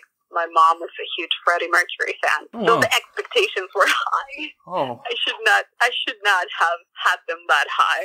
In fact, I, uh, in fact, I think I I did enjoy the movie. Like you do get you get the music that it's you know amazing. Like overall, the the actors, in my opinion, did what they could. But since they used the same formula that the biopics have been using, I mean, I love biopics. Don't get me wrong me too. but it was it didn't have organization in my opinion so not without that organization like the formula just doesn't really connect so when i i got out i was like eh, eh, i liked it i enjoyed that it i was entertained but if you would have looked at this in a generic way this movie could have been applied to a lot of other bands so Mm. I, I don't know. I just came out of that movie a little bit in between. Really excited about the soundtrack for sure. I had listened to it before the, the watching the movie, but nah, something was missing. But you know, like as as someone that just like goes there and sits down and went there for Freddie Mercury, I was like, okay, all right, like Rami did what he what he did, like Oh, what he does best. He acted. yeah, he was really good. Yeah. Um. So I agree Don't interrupt. to a certain extent. So I went in, and I don't go in very, very often with high expectations in movies, just because I've had bad experiences in the past. like what? Um. My mother? Shut up. It's not funny. just movies that I think I just I, I think I set my expectations too high sometimes and, and this is one of the movies that but I had kind of the opposite effect of, of, of you. Drink the I Kool Aid on this one. I you? drank the Kool-Aid on this one. I was so drunk off of this movie when I walked out. Like I was like all Oh, yeah. smiles, and I look over at Patrick during the movie because I, I talk during movies. I'm like, look, look, I'm like nudging him when the songs are getting created, and I'm like, oh my god, you know. now I don't know a lot. Obviously, I know who Freddie Mercury is. Okay, I'm like, I'm not. I don't live under a rock. Me too. But I don't. Re- I don't really know how. I don't know their history Me too. hence is why I'm watching the biopic, you know? And so I come out of this movie, I'm drunk, I love it, I'm raving about it. This guy over here is kind of like, meh, it wasn't that good. And I'm like, what are you talking about? killed their vibe. You're crazy. Were arguing you know, in the like car we were about it. arguing in the car about it. And then after the conversation and us arguing for like 30 minutes about the movie, I'm like, okay, the Kool-Aid's wearing off. Well, I had said something to you. I'm not as drunk as I was walking out of the movie. It's like, oh yeah. wait a minute, that didn't make sense. It's like, wait a minute, how did, because I understand there needs to be, you know, jumps in In movies. the timeline, of course. Yes, I mean, I completely get that. Um, I've watched other movies with within the music musical genre that had really bad jumps. Now that one was confusing. So I was kind of comparing it to that movie, and I'm like, no. Oh. Um, I watched the, the last five years with Anna Kendricks and Jeremy Jordan. Oh, from Supergirl. uh, yes, and um, it's it's a Broadway show that they made into a movie a couple years ago. you. You're like, That's confusing you though. convinced. I saw the movie with you. Those time jumps, they kept going back and forth, and you were like, well, wait a minute, which timeline is this? And I didn't feel like it was like that, but I feel like they kind of skipped out on the sandwich. That makes sense. Like, you got more bread, not enough meat. Oh, that's a good one. I Thank like you, that. thank you. Um, and so, but I, I didn't notice, I didn't think about it until I was processing the movie later after our 30 minute argument. And I was like, It was getting a little I intense. was, it was. I was like, what are you? I was like yelling at, him, what are you talking about? I'm like, can you're cuss. crazy. And then I'm like, maybe I'm the crazy one after, you know, I like calmed down a little bit. And I was like, that doesn't make sense. But overall, I enjoyed the movie. It definitely could have been better. But like my Yeah. first initial reaction, it was like super high. And then now that I've had time to like process and think about it, I'm like, okay, now I see Patrick's argument. Now, okay, they are valid. Like, how did this happen? That made no sense. But overall, I enjoyed it. I love Rami Malek. I think this is um see he does more TV, right? He's on Mr. Robot. yeah, yeah, yeah. You watched that, right? I watched the first I- season and I loved it. What I- about you, Grinch I've seen it all. Oh, yeah, I'm like, no, no. I, I know Grinch Hands likes the show. Yeah. You should watch I, it. I actually, uh, a little bit of a plug-in, but Mr. Robot does have an ARG alter- alternate reality game every season, and every season I've been able to solve it with the help of the Reddit community, of course. But I'm as active as I am on Twitter. every, time, every time that the Mr. Robot uh, season happens, so yep, wow. I mean, What? I, I wish I was as cool as you. All I can say is I saw the first season on Amazon and then I go, it's really good, and I'll watch the second season and I forgot. I don't solve the puzzles, nothing. I just was like, this show's really good. Like, So I mean, for him, I I, I think this was a, a definite like you know breakout role. Um, but the movie itself was. I mean, if, if you take away like the music and his performance, exactly. it's kind of blah. I, yeah. So in the end, our thirty minute argument, Patrick was right, and that kills me to say that I was wrong and Patrick was right. So Uh, it's not about being right. I think we, I think all three of us have exceptional movie taste. I was expecting to walk out of Venom all drunk, like, yeah, it's the best movie I've ever seen, but instead I was like, oh, I was so freaking disappointed. it was the worst hangover I ever had. I was like, this, this can't be Tom Hardy. But, um, yeah, I think our movie taste is really good. So, you know, sometimes it, it takes some movies we know are good, and some Yeah. you're like, oh, it was really good, and then you're like, well, it wasn't that good. With this movie, it reminds me of when I go to Panda Express using your sandwich thing. I thought of this. It's like when I go to Panda Express, I want it, and then I walk out going, I wish I had more. I always do that every time I go to Panda, and and the only difference between Panda and Bohemian Rhapsody is they're not they're not upcharging me on everything. I every time I go to Panda, I'm always like, ooh, let me get this honey shrimp. They're like, oh, that's extra. This movie didn't give me anything extra except in the performance of Rally, uh, Rami. Ra- Ra- was it Rally, Rami. Rami or is Rami. it Rami Malek? Rami. Okay, why am I getting all you're tongue tied? missing the names. Yeah, I'm like, it's because of honey shrimp. No, but but um, no, uh, he this is his best performance. I think Oh, that yeah.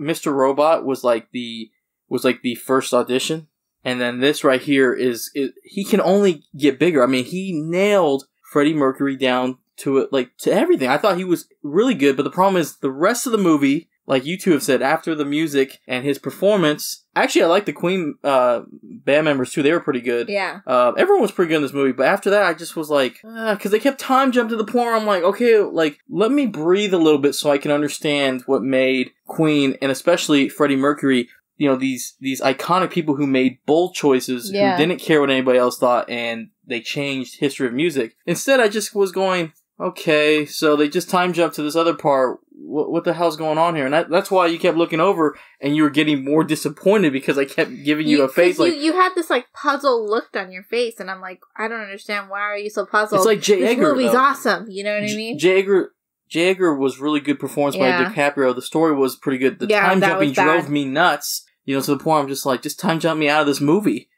See, you're stupid. I'm gonna compare this to Walk the Line because I, I, love that movie. I love that movie. Yeah. Like I could never get tired of watching that movie. And I feel like this movie had the potential to be a walk like you say walk the line, people were like, Oh, you know what I mean? Like, you know, now when you say Bohemian Rhapsody, I'm kinda curious to see how people are gonna react. Like, oh What's a worst, oh. What's a really bad like music biopic? All, um, all Eyes on Me with Tupac. Can we, I, you know, that I, bad? I didn't watch it. yeah, but that hurt, looked Yeah. terrible. You know, it's funny as, as soon as you say that, I'm looking over at my movie collection. I'm like, oh, I don't know. Let's see. Uh, Don't get away from the mic. Okay, sorry. But uh, yeah, that that's just how I thought about the film. It, it was just a Panda Express day for me. I went in and I was really excited, and I walked out going, I could have had more. You know, I think one of the funniest things is Patrick did not realize Oh yeah how yeah, much Queen he really knew. yeah. And when they did Fat Bottom Girls, I was all Yes. excited. And he goes, Yeah. he goes, I did not know. they did this song. I'm like, yes. I'll be honest with you. Fat Yeah, Bottom Girl is iconic, as iconic as it will get. you know, Patrick. See, and there you go. So right there, somebody who doesn't know uh, Queen as well as like you two knew Queen a little bit more than I did. I'm walking this movie I know the expecting to get a. music. I'm expecting to get lectured in a in an awesome class, and I walked out going, "Why did I even take this for the first semester?" Like that's all I felt like because you two knew more about it. Like if it came, if it was something like straight out of Compton, Chris will tell you, like I, I will know everything about that. But You know what's funny is you actually used that in your argument straight out of Compton, and I told you You know, I remember watching the movie. That was a good one. I don't remember it. Did you like that one, Grinch Hands? Which one? Uh, Straight of Compton. Oh, actually, funny story. It's on my watch list. I have not gotten around to it, but I know that uh, that considering my research, I may like it.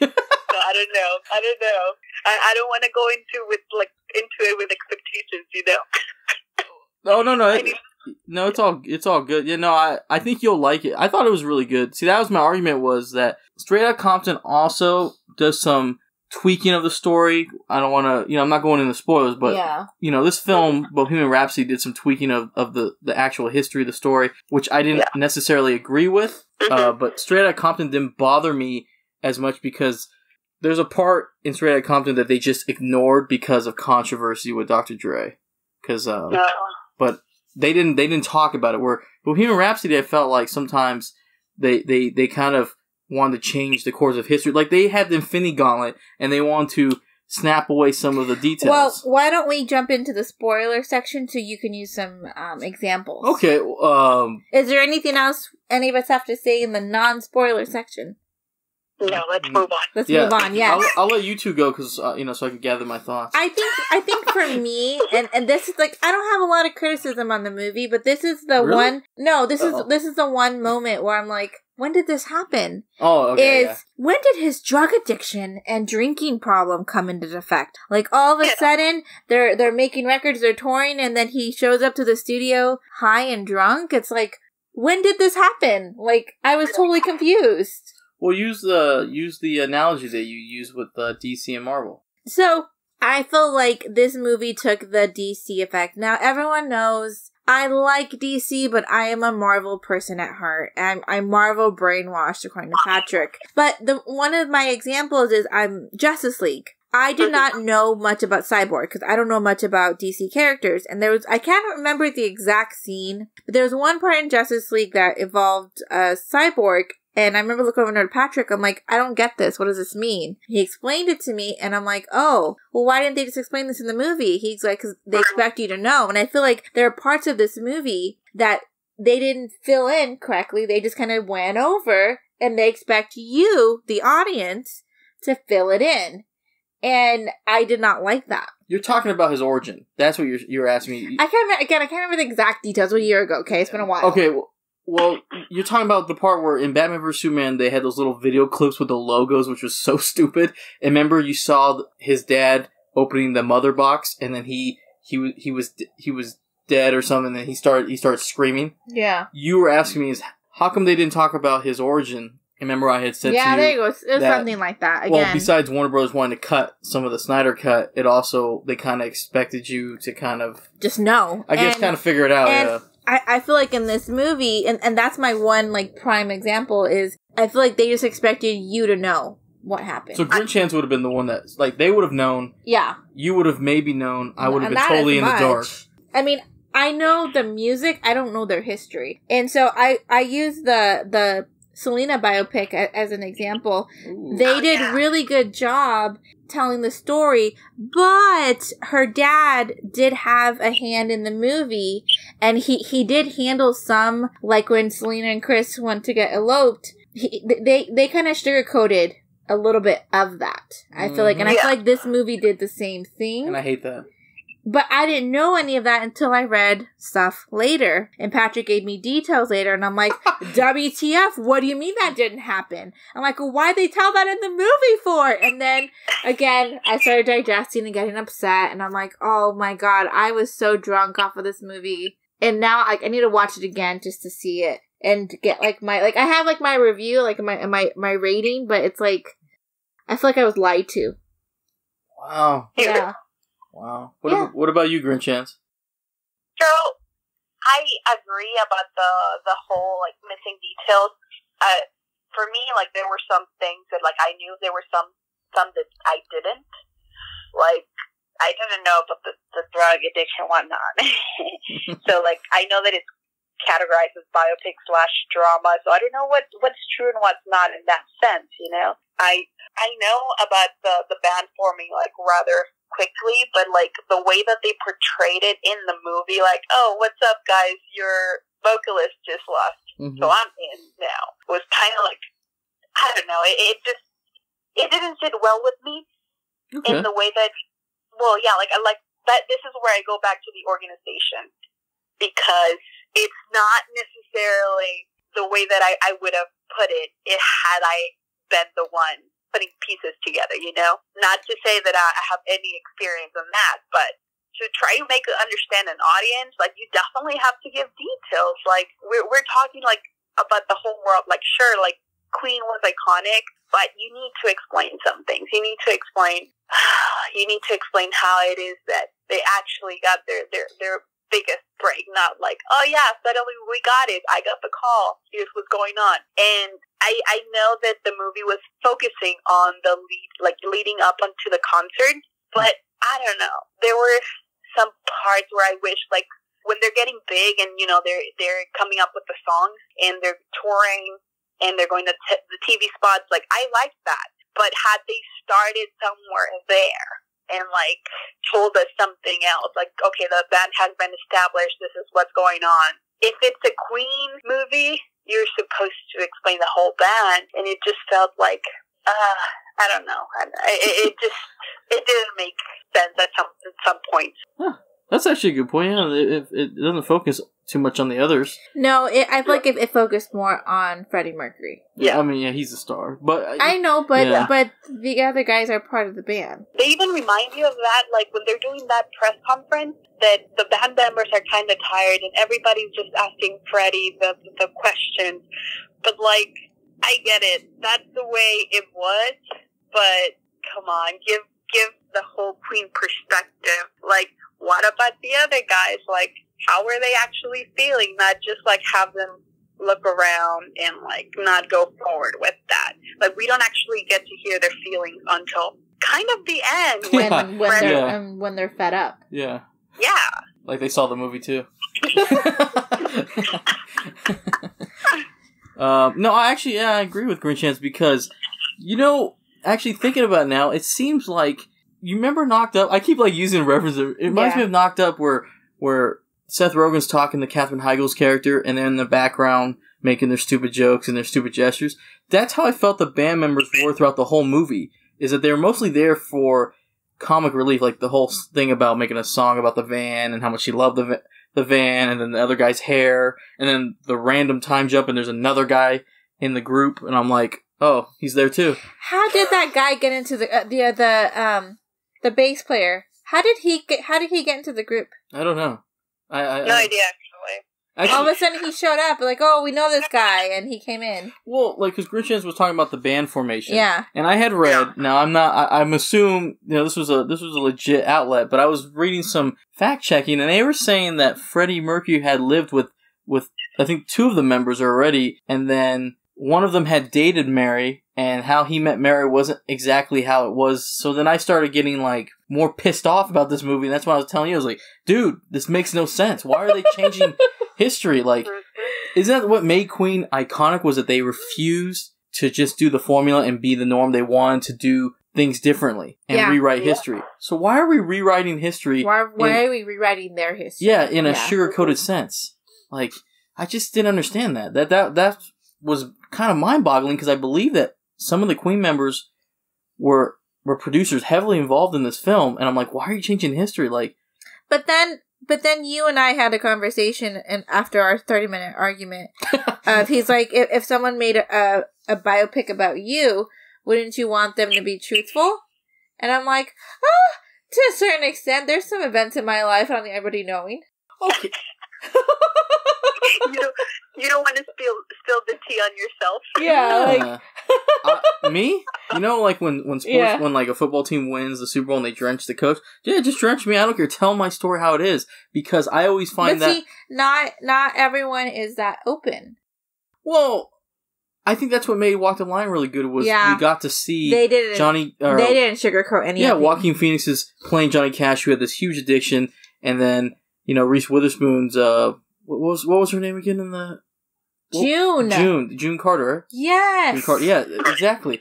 It's been a while. Oh But my god. You, but you get what I'm saying though. Like, remember that whole scene where she had the, she went to his house and she she was like, "You're gonna get you're gonna get taken care of." Like they didn't sugarcoat it. He was a mess. Yeah. You know, I mean, like Yep. that's why I'm like, why isn't Bohemian Rhapsody showcasing some some of this stuff, and they're time jumping to the point where it's like, I think one of the problems is I think you argue with me on this one, Chris. It was yeah. when Freddie does his first performance with the band, Mhm. and he struggles, but then picks himself up, Yeah. and they kind of roll with it, and then the next scene, you know, I think they kind of they have like some scenes in between, but then it kind of moves toward them getting stranded in the van, and then they're gonna end up they're gonna get a record deal. They have to Yeah. sell the van, and I was telling Chris that I thought that they should have focused a little bit, uh, just a little bit about showing why Freddie Mercury was one of the best musical performers of all time because that was a crucial moment to me. And my argument, my rebuttal of that is they did. They did show you like of 10 what kind of performer he was struggling with the mic and he broke the fucking mic stand, dude. And he made the performance his own. And that right there showed you the the performer. Fred, Freddie Mercury commanded your attention when he was on the stage. You were captivated For more than ten him. seconds, though. But they they still did it. True, but I'm just saying that those things kind of bother me. I guess. Oh my god. That's all I'm saying, and it's just my opinion. Like I said, if right there. he was born on that stage, right in that moment when he broke that mic stand and he had his little tambourine thing, or whatever that thing is called. that was awesome, You know, like, but th- that that right there, that was your way of saying, "Hey, he's a he's a superstar." He didn't Yeah, let he didn't let his mic stand right. get in his way. well, Yeah. I'm gonna go spill the tea on my own. I don't, I don't care what y'all think. No, I mean I agree with you. I understand the the other side of the argument, but I just I guess for me, I- it wasn't enough. You you you Yeah. wanted more. You want to know what what because like what drove his passion and what Yeah, because look at his other. Perf- I mean, when I was Yeah. watching his other performances, I sometimes forgot it was a movie. I was like, I just want to watch.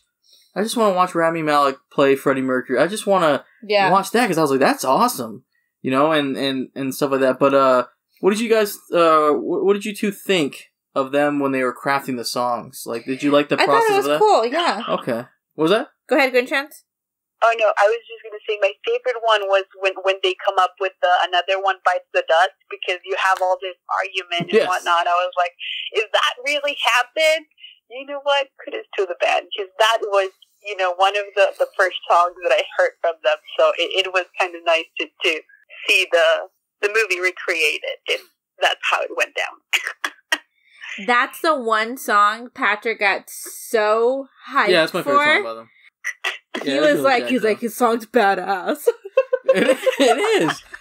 Uh, that was that was probably my favorite one of how they created the song. Mm. Uh, Bohemian Rhapsody was really cool. yeah, I don't know why. I just felt like that one. I knew that one got the most attention because it's. it's is it would would, it would that be their biggest song, Bohemian Rhapsody, or is it just because of the title? They because I felt like they really focused on that one more than anything. But I understood well, why I because it feel was like, different. I feel like that song changed, or according to the movie, I don't know, but I feel like that. I feel like that song changed their their whole career.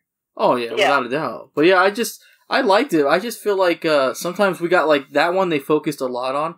And, And then then, we got- other ones not as Yeah, much. like high yeah. bass player. I didn't know you were in this band, and nobody cares about you. It Let's- just it just wasn't well balanced, and, and like Grinch Hands said, it, it, it wasn't or the storyline wasn't organized. yeah, because like there's another part. I could just. I'm not trying to nitpick, but there's another part Yes, that bothered me. Stop being a film bro. no. Oh, that's messed up. that crossed the line.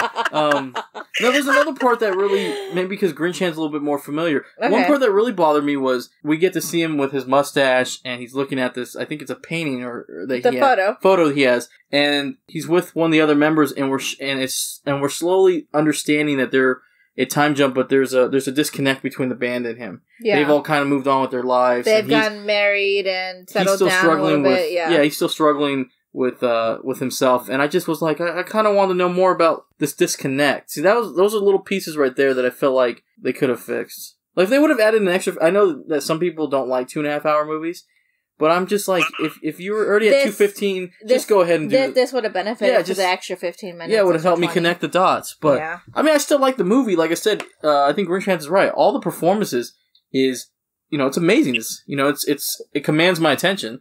Does anybody else have anything to say? I could It nitpick all day. attention like Freddie Mercury. yeah, Yeah. exactly. Okay, let's talk about. Okay, I go usually ahead. moderate after a while because I feel like just because it's easier. Is let's talk about the uh the lead up to the Live Aid because I hated. Was it Paul? I hated Paul. I hated Paul. Paul was an ass. Oh Yeah. and I I was sick of him. Yeah, agreed. So I was, I was just going to say that it was pretty interesting how they kind of depicted that whole sexuality spectrum because you have, you know, like the whole Mary. I don't want to say that they wanted to show like Mary was his like balance, like what was bringing him back from wherever like he was going toward to, because like you know, like having having the parties with the drugs and like uh, all the gay men. And I don't know, I didn't like that they necessarily depicted that as negative because as far as I know, the gay community loved the Queen era. Oh, yeah. I know that they were super influenced and they weren't necessarily doing bad things, you know? So like to see the drugs, to see this gay guy like actually like bringing him to the dark side basically, but like Mary pulling him out Nice Star in a way reference. like, oh, your, your band needs you. I don't know. It just seems a little bit, a little bit too sad for me. I don't know. I, to some extent, I want to know like what's real in, in that sense. I want to know if like may, maybe Freddie was the the the one that actually realized like oh I, I want to go back to, to what was going on or like something actually like worse happened in in the the lifestyle that he was like living, but not necessarily like you know because of Paul. But I don't know. I I thought Paul was a bad character. Super irrelevant at first, and somehow he became irrelevant. yeah. I just wanted to, but that was that. Does anybody want to talk about how Paul wound up Littlefinger? The guy owns everybody in Game of Thrones by winding them up, and this guy over here ones ones up him in Bohemian Rhapsody. I'm just crossing genres, but oh my uh, god. I do. but I I agree with. I, I, agree with. I yeah, agree with them. I actually agree with you 100% on that. That that's actually really interesting. and also, I I, didn't think of it that I don't way. know if I told you this. Yes. But Freddie Mercury's sexuality, Yeah. I felt that they sugarcoated it. I I, I know that they're trying to cater to all audiences. Yeah. I Yeah. don't care. Show it. because it makes some people uncomfortable though. Mm. But It's real but, life. But it's the truth. Exactly. yeah, It's part of the identity of Queen. Yeah. yeah. So t- that's why I kept remember I kept telling him like like when they're making out, I'm like, are we gonna see? Are we gonna? Are they gonna? Because they were. like, I felt like they were tiptoeing around some parts, if that makes sense. Like his curiosity, I understand them tiptoeing around, but I felt like you know his his relationships outside of Mary, they were kind of uh, sugarcoating it, except with that Jim Hutton, the one he ended Mhm. up with. That one was was pretty organic to me, and I like that one. Yeah. Yeah, but uh, I, I go ahead. No, no. I, I just I was gonna agree that they definitely sugarcoated a lot of it because at the end of the day, like when you think or like what everybody thinks about Freddie Mercury, that's like one of the biggest things that they remember. Like, oh yeah, the, the he was a big part of the gangs. He was really big in the community. He he was known, you know. So, eh, yeah, sugarcoating wasn't my favorite. They just need to remake this whole movie. I know, right? It just, you especially in, in, in today's time, that Freddie Mercury story, I honestly thought would be even more inspiring, especially what he had to deal with in, in decades before now. I mean, that's why I was like, what is Mhm. going on here? That's what makes biopics, uh, music biopics, in my opinion, inspiring. Like Walk the Line, and I don't know why. I, Selena, I have uh, okay, Selena. I have arguments against, but yes, you can. fuck off. okay, I didn't say it was a bad movie. Was it was. She is my idol. I would okay? say uh, okay, but you get what I'm saying. But like you No, walk no, down yeah, yeah, inspired yeah. with Selena. But I think um I didn't mean to cut you off. I'm so sorry. No, no, but you get what I'm saying, but- though, right? But this is something I, I told you Oh, in okay. our in our 30 minute argument that no one will ever hear. Um, I'm not leak.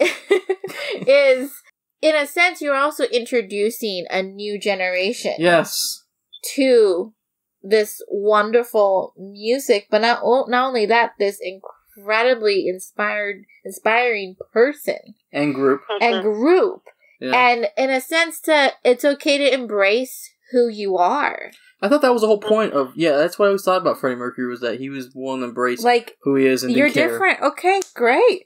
You're different. Mhm. Be proud that you're different. Why would you want to blend in with everyone else? Yeah. You know, and so I, I, I think they they could have took like a different approach. I think they sh- this movie would have benefited from being pushed back a little bit, especially with the with the whole director. Oh, Bryan Singer. Yeah, I didn't even I didn't even mention that. yeah. You'll hear me do that in That's post. that's a whole nother. No, no, no, not that part. I'm Oh. saying like I do the basics. You'll hear me like in post. Oh my god. As if we were having that normal conversation. Okay. I forgot. But you know, overall, I mean, if if you look past that part of it, I mean, if you look at Rami's performance and the music, it was good, but it's just it doesn't feel like you know authentic.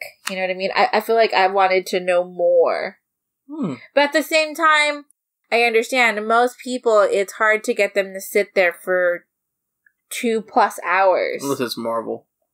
for a movie. You know what I Yeah. mean? But was, no, but yeah, I'm, no, it's I'm, true. I'm being serious though. Like people's attention spans nowadays are are so small, mine included. But I have an attention problem, so I have an excuse. But I can't no I, excuse. I can't sit still very long. So like I, I have to be Like like, right now. You're yeah, moving and like around. right now I'm like moving around because like I just I, I can't. And so I I think that's another reason why they kind of like skimped off part of this and shaved off part of the movie. You look like you're making it rain. What do you? What do you? You mean? Okay. Like if you can see the hand gesture. Oh, be careful. but you know what I mean? I, Yeah. I think I, I think they ended up just kind of shaving part of the movie away, but I think those are necessary parts. All right. Uh, anything else to add, Grinch Hands, to that? No, I I respect that, and I, I just have one thing Yeah, go ahead. relevant to that to say. Two-hour movies are becoming so relevant. We might as well prepare for hemorrhoids.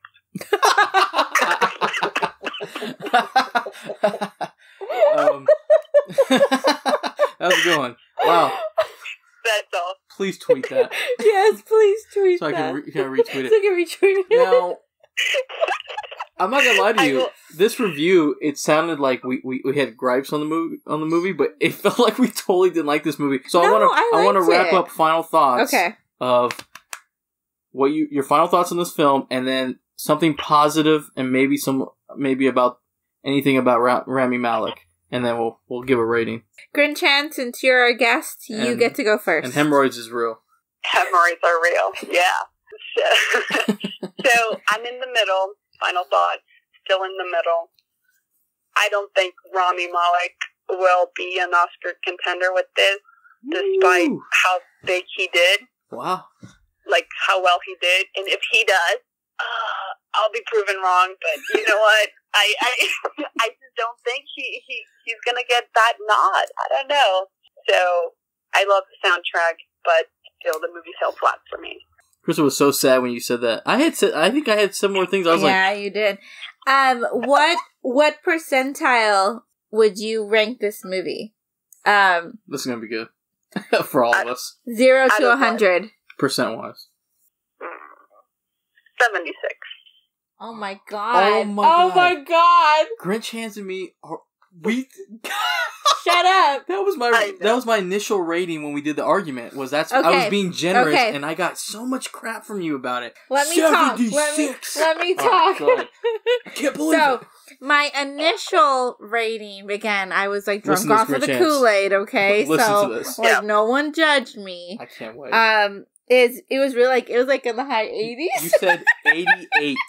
I'm gonna quote you eighty eight. That's I couldn't number. believe it. but I have sobered up since then, Okay. and I have digested the movie Fully. fully. And even during this conversation, it's making me think, oh, oh, well, yeah, what the heck, you know, kind of thing. And so when she said seventy six, I'm like, holy shit! I was I, I was gonna say seventy five. Hey, yeah, yeah. But- Are you giving it a It's along the 75? Yeah, a seventy five. Why is it that you're giving it a seventy five? because now that I've had time to process and and I'm not again I'm not like drunk off of this movie and I've kind of just stepped back a little bit and kind of really analyzed everything again if if you take away Rami's performance which I hope he gets nominated for an Oscar. I I was making a sad face and you said no. Just because Sorry. I feel like he just all of his mannerisms was like down to a T. Like I was watching a video on YouTube that showed his performance next to Freddie's and like literally they were moving. I was like, "Oh my goodness." You know, and so I feel like he put so much into this performance. It makes me sad if he does not get an Oscar nod. But the movie itself, it, it, it it's average. You know, There's but hope for the Golden Globes. There's always hope for the Golden that's Globes. that's what that was his argument in the car is he might get a Golden Globe nod. You know the Golden Globes love musicals, Oh yeah. but the music is what really kind of just That's part of the the film. music and his performance. Now, don't get me wrong. I know I keep raving about his performance. The other the other actors are good, But and he steals the show. oh yeah, he steals the show, it was yeah, man. And so that's from the guy from Need Need for Speed. I don't remember him from Need for Speed. You keep saying that. I don't Oh. remember. I do. Um, I hate but that that's the reason why I jumped down from like an 88 to 75 is really kind of looking at it. The story is not that great. wow. I told Yeah. her. I told her that the and car. then and then Patrick told me like how they they this Whoa, is this uh, isn't how this happened and and this and this and I'm like what the heck like well that's a huge disservice to your fans. it is and that made me And- really upset. Mhm. No, but I was gonna Yep. tell you. But I do love the movie and I'm gonna own the movie. I'm probably gonna watch it again in theaters. I'll watch but- it with you. I don't care. But it just it just it makes me a little sad because I think Queen deserve better. deserved better. Well, I think Freddie Mercury deserved Oh, better d- because he wasn't here to be able to guide this. Not film. just him, but also you know. Well, no, they had a hand in it. So they, this is the film they put out. okay, so then Freddie deserves better. Yes. But uh I was telling her, uh Grinch Hands, that I was like, it's okay if you give it an 88. It's your movie review. If it, it seems to hit you in a way it didn't hit Grinch Hands and myself, there's nothing wrong with that. Then the movie did its job. See, that's what I think the goal is. I walked out of the movie and I was like, I feel like I was in like in a concert, man, because we watched it in that what we didn't watch it in IMAX, Dolby, and it was just so Oh, nice. loud. And I was like, oh man, this movie was awesome. And I'm like, what do you mean you gave it a a 76? You're crazy. And I was like going off and off. And like I said, the more the more, and even the next day. We uh we drove to Tucson and we were even so arguing about it the next morning because I was blasting the the soundtrack and I'm like the more he kept talking I'm like shit Patrick's right oh I don't want to tell him he's right because I hate admitting that he's right and I was like okay he has valid points and then it was kind of like it like sunk in I was like oh man I, I think you just figured it out for yourself. I did. I, had nothing to do with it. I think you just thought a, bit, a But- little bit about the movie. And then listening to to, to Grinch talk too right now, it's like, okay, damn, they're right. I didn't I didn't see it that way. I think Oh, yeah. again, be, again, it's kind of like I was I was drunk. I had my drunk goggles on. I was just so wrapped up in the music of the performance that I didn't really look at the storyline as much, which normally I do. Normally I'm like. I feel like I'm a, I'm a film bro and I critique things. I'm like, Film ah, bro. didn't make sense. You know what I mean? But Pat, mine's a 75. It's your turn. Grinch Hands is a 76. Okay, so my final thoughts are whether or not you're a Queen fan, you need to see this film. Oh yeah. you will enjoy them recreating their classic songs that they were coming up with at the time. But I feel that this is a disservice to anybody, whether you're a new Queen fan, you've never heard of them, or a lifelong one, because they are trying to rewrite history that doesn't need to be rewritten. But Rami Malek is gold, so my rating is actually a 73. Wow. It went down. I told you I was being generous with the 76. I just think that that what you two said already that without Rami Malek, without these songs, and without Littlefinger getting wound up, that this film would have been a dud on arrival. But I just think that Rami Malek was like telling me, "Shut your mouth about my movie, watch me," and he knocked it out of the park. And I was just like, if only Freddie Mercury could have saw him do uh, his portrayal of him, he would have been amazed. yeah. You, True. you probably would have rated an 88 too, Chris. Don't worry. but uh, I, uh, that is it for us on uh, Bohemian Rhapsody, right? yeah. But uh, I actually I enjoyed this review. This one was uh this one was really good. Grinch has got to come on more often. I think you did your best work too, Chris. That was Thank you. fantastic. So, and it's not an 88. Shut up. I hate you. I appreciate it, guys. Thank you for having me.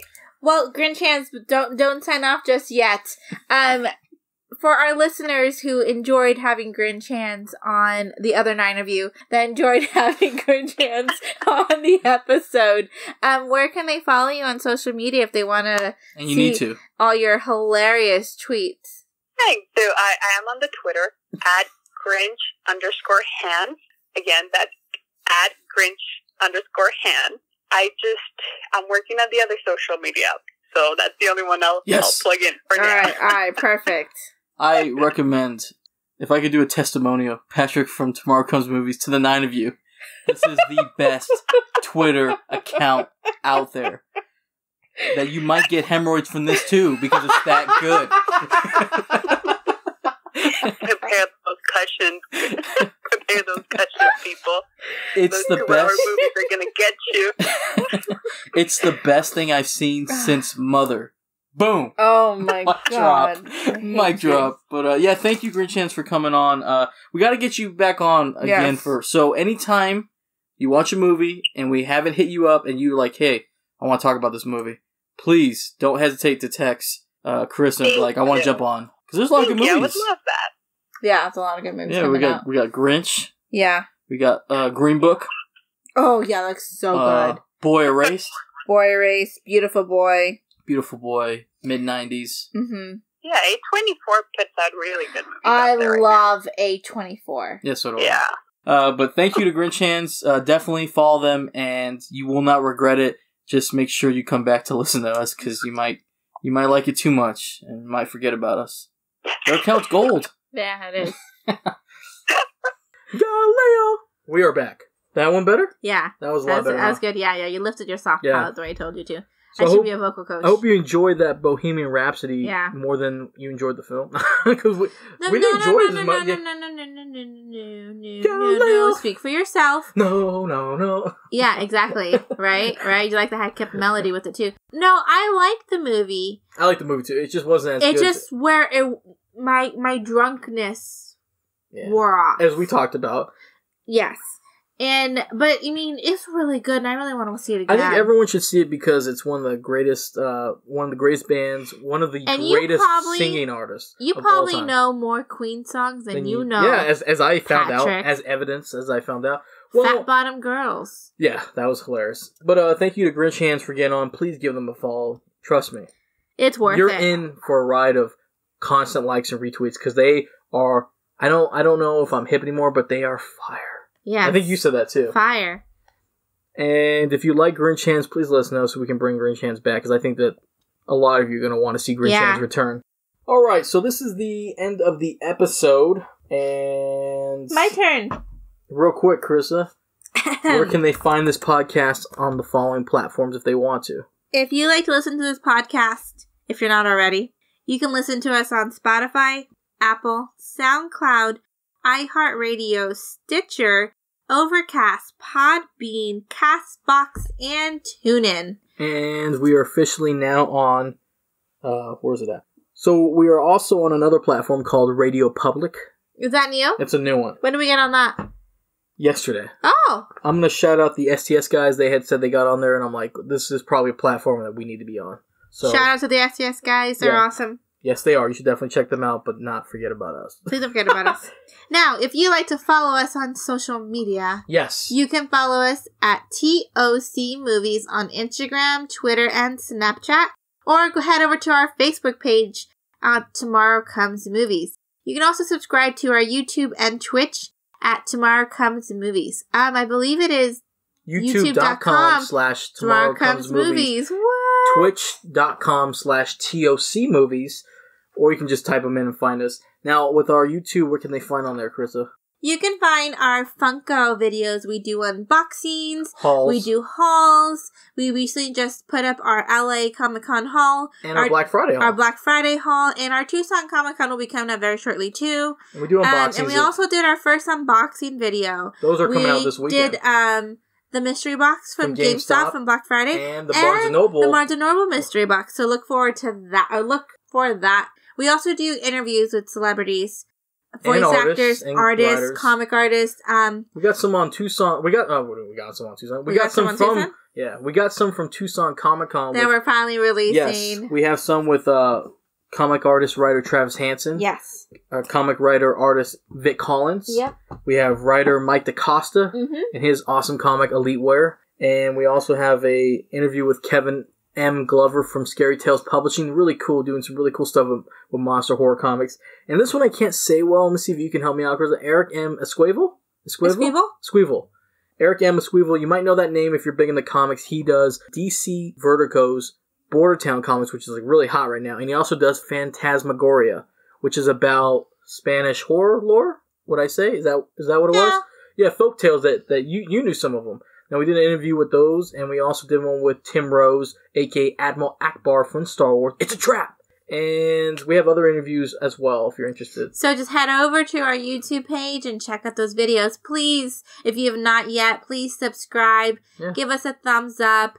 Comment down there Hit below. the bell notification so you know when new videos come out. Same with podcasts. If you hit one of those platforms that Kristen mentioned, you get the episodes immediately. Now, one thing we're going to be doing when we uh, we have a couple more special interviews that are coming up soon. Oh yeah. And so, what we're going to do for you guys, our podcast listeners, is we're going to put it out on the episode first, and then a week later, we'll upload it up to YouTube. So, podcast listeners get the exclusive first. Exactly. So listen, you already listened to us, so why, why am I telling you this? But the cool thing is you get to hear these interviews before anybody else. Because as much as we love our YouTube audience, we love our podcasting audience more. All 10 of you. Yeah, all 10 of you. So all 10 of you will get it before the whatever number of subscribers we have gets it. But yeah, we have more interviews in the can. And, you know, we have a lot of content coming out. And uh, every Friday, new episodes are coming out. So this is Pinky coming out. Friday. And Funko videos will be coming out Sundays. CC. And then from there we'll see how it goes. But also, real quick, please, if you can, give us a like on Facebook, give us a rating on iTunes or Stitcher or wherever else uh, is available to give us a rating on any of those platforms. Please give us a rating, a star rating of your choosing. Whoops, I hit You're that. hitting the mic. Chill, that. chill, chill. and we greatly appreciate it. And please help us spread the word. As always, your hosts are the Patrick and Carissa. to the Grinch who sang Galileo. Oh, that was really good. Thank you. Episode 55. In tribute to you. I hate you.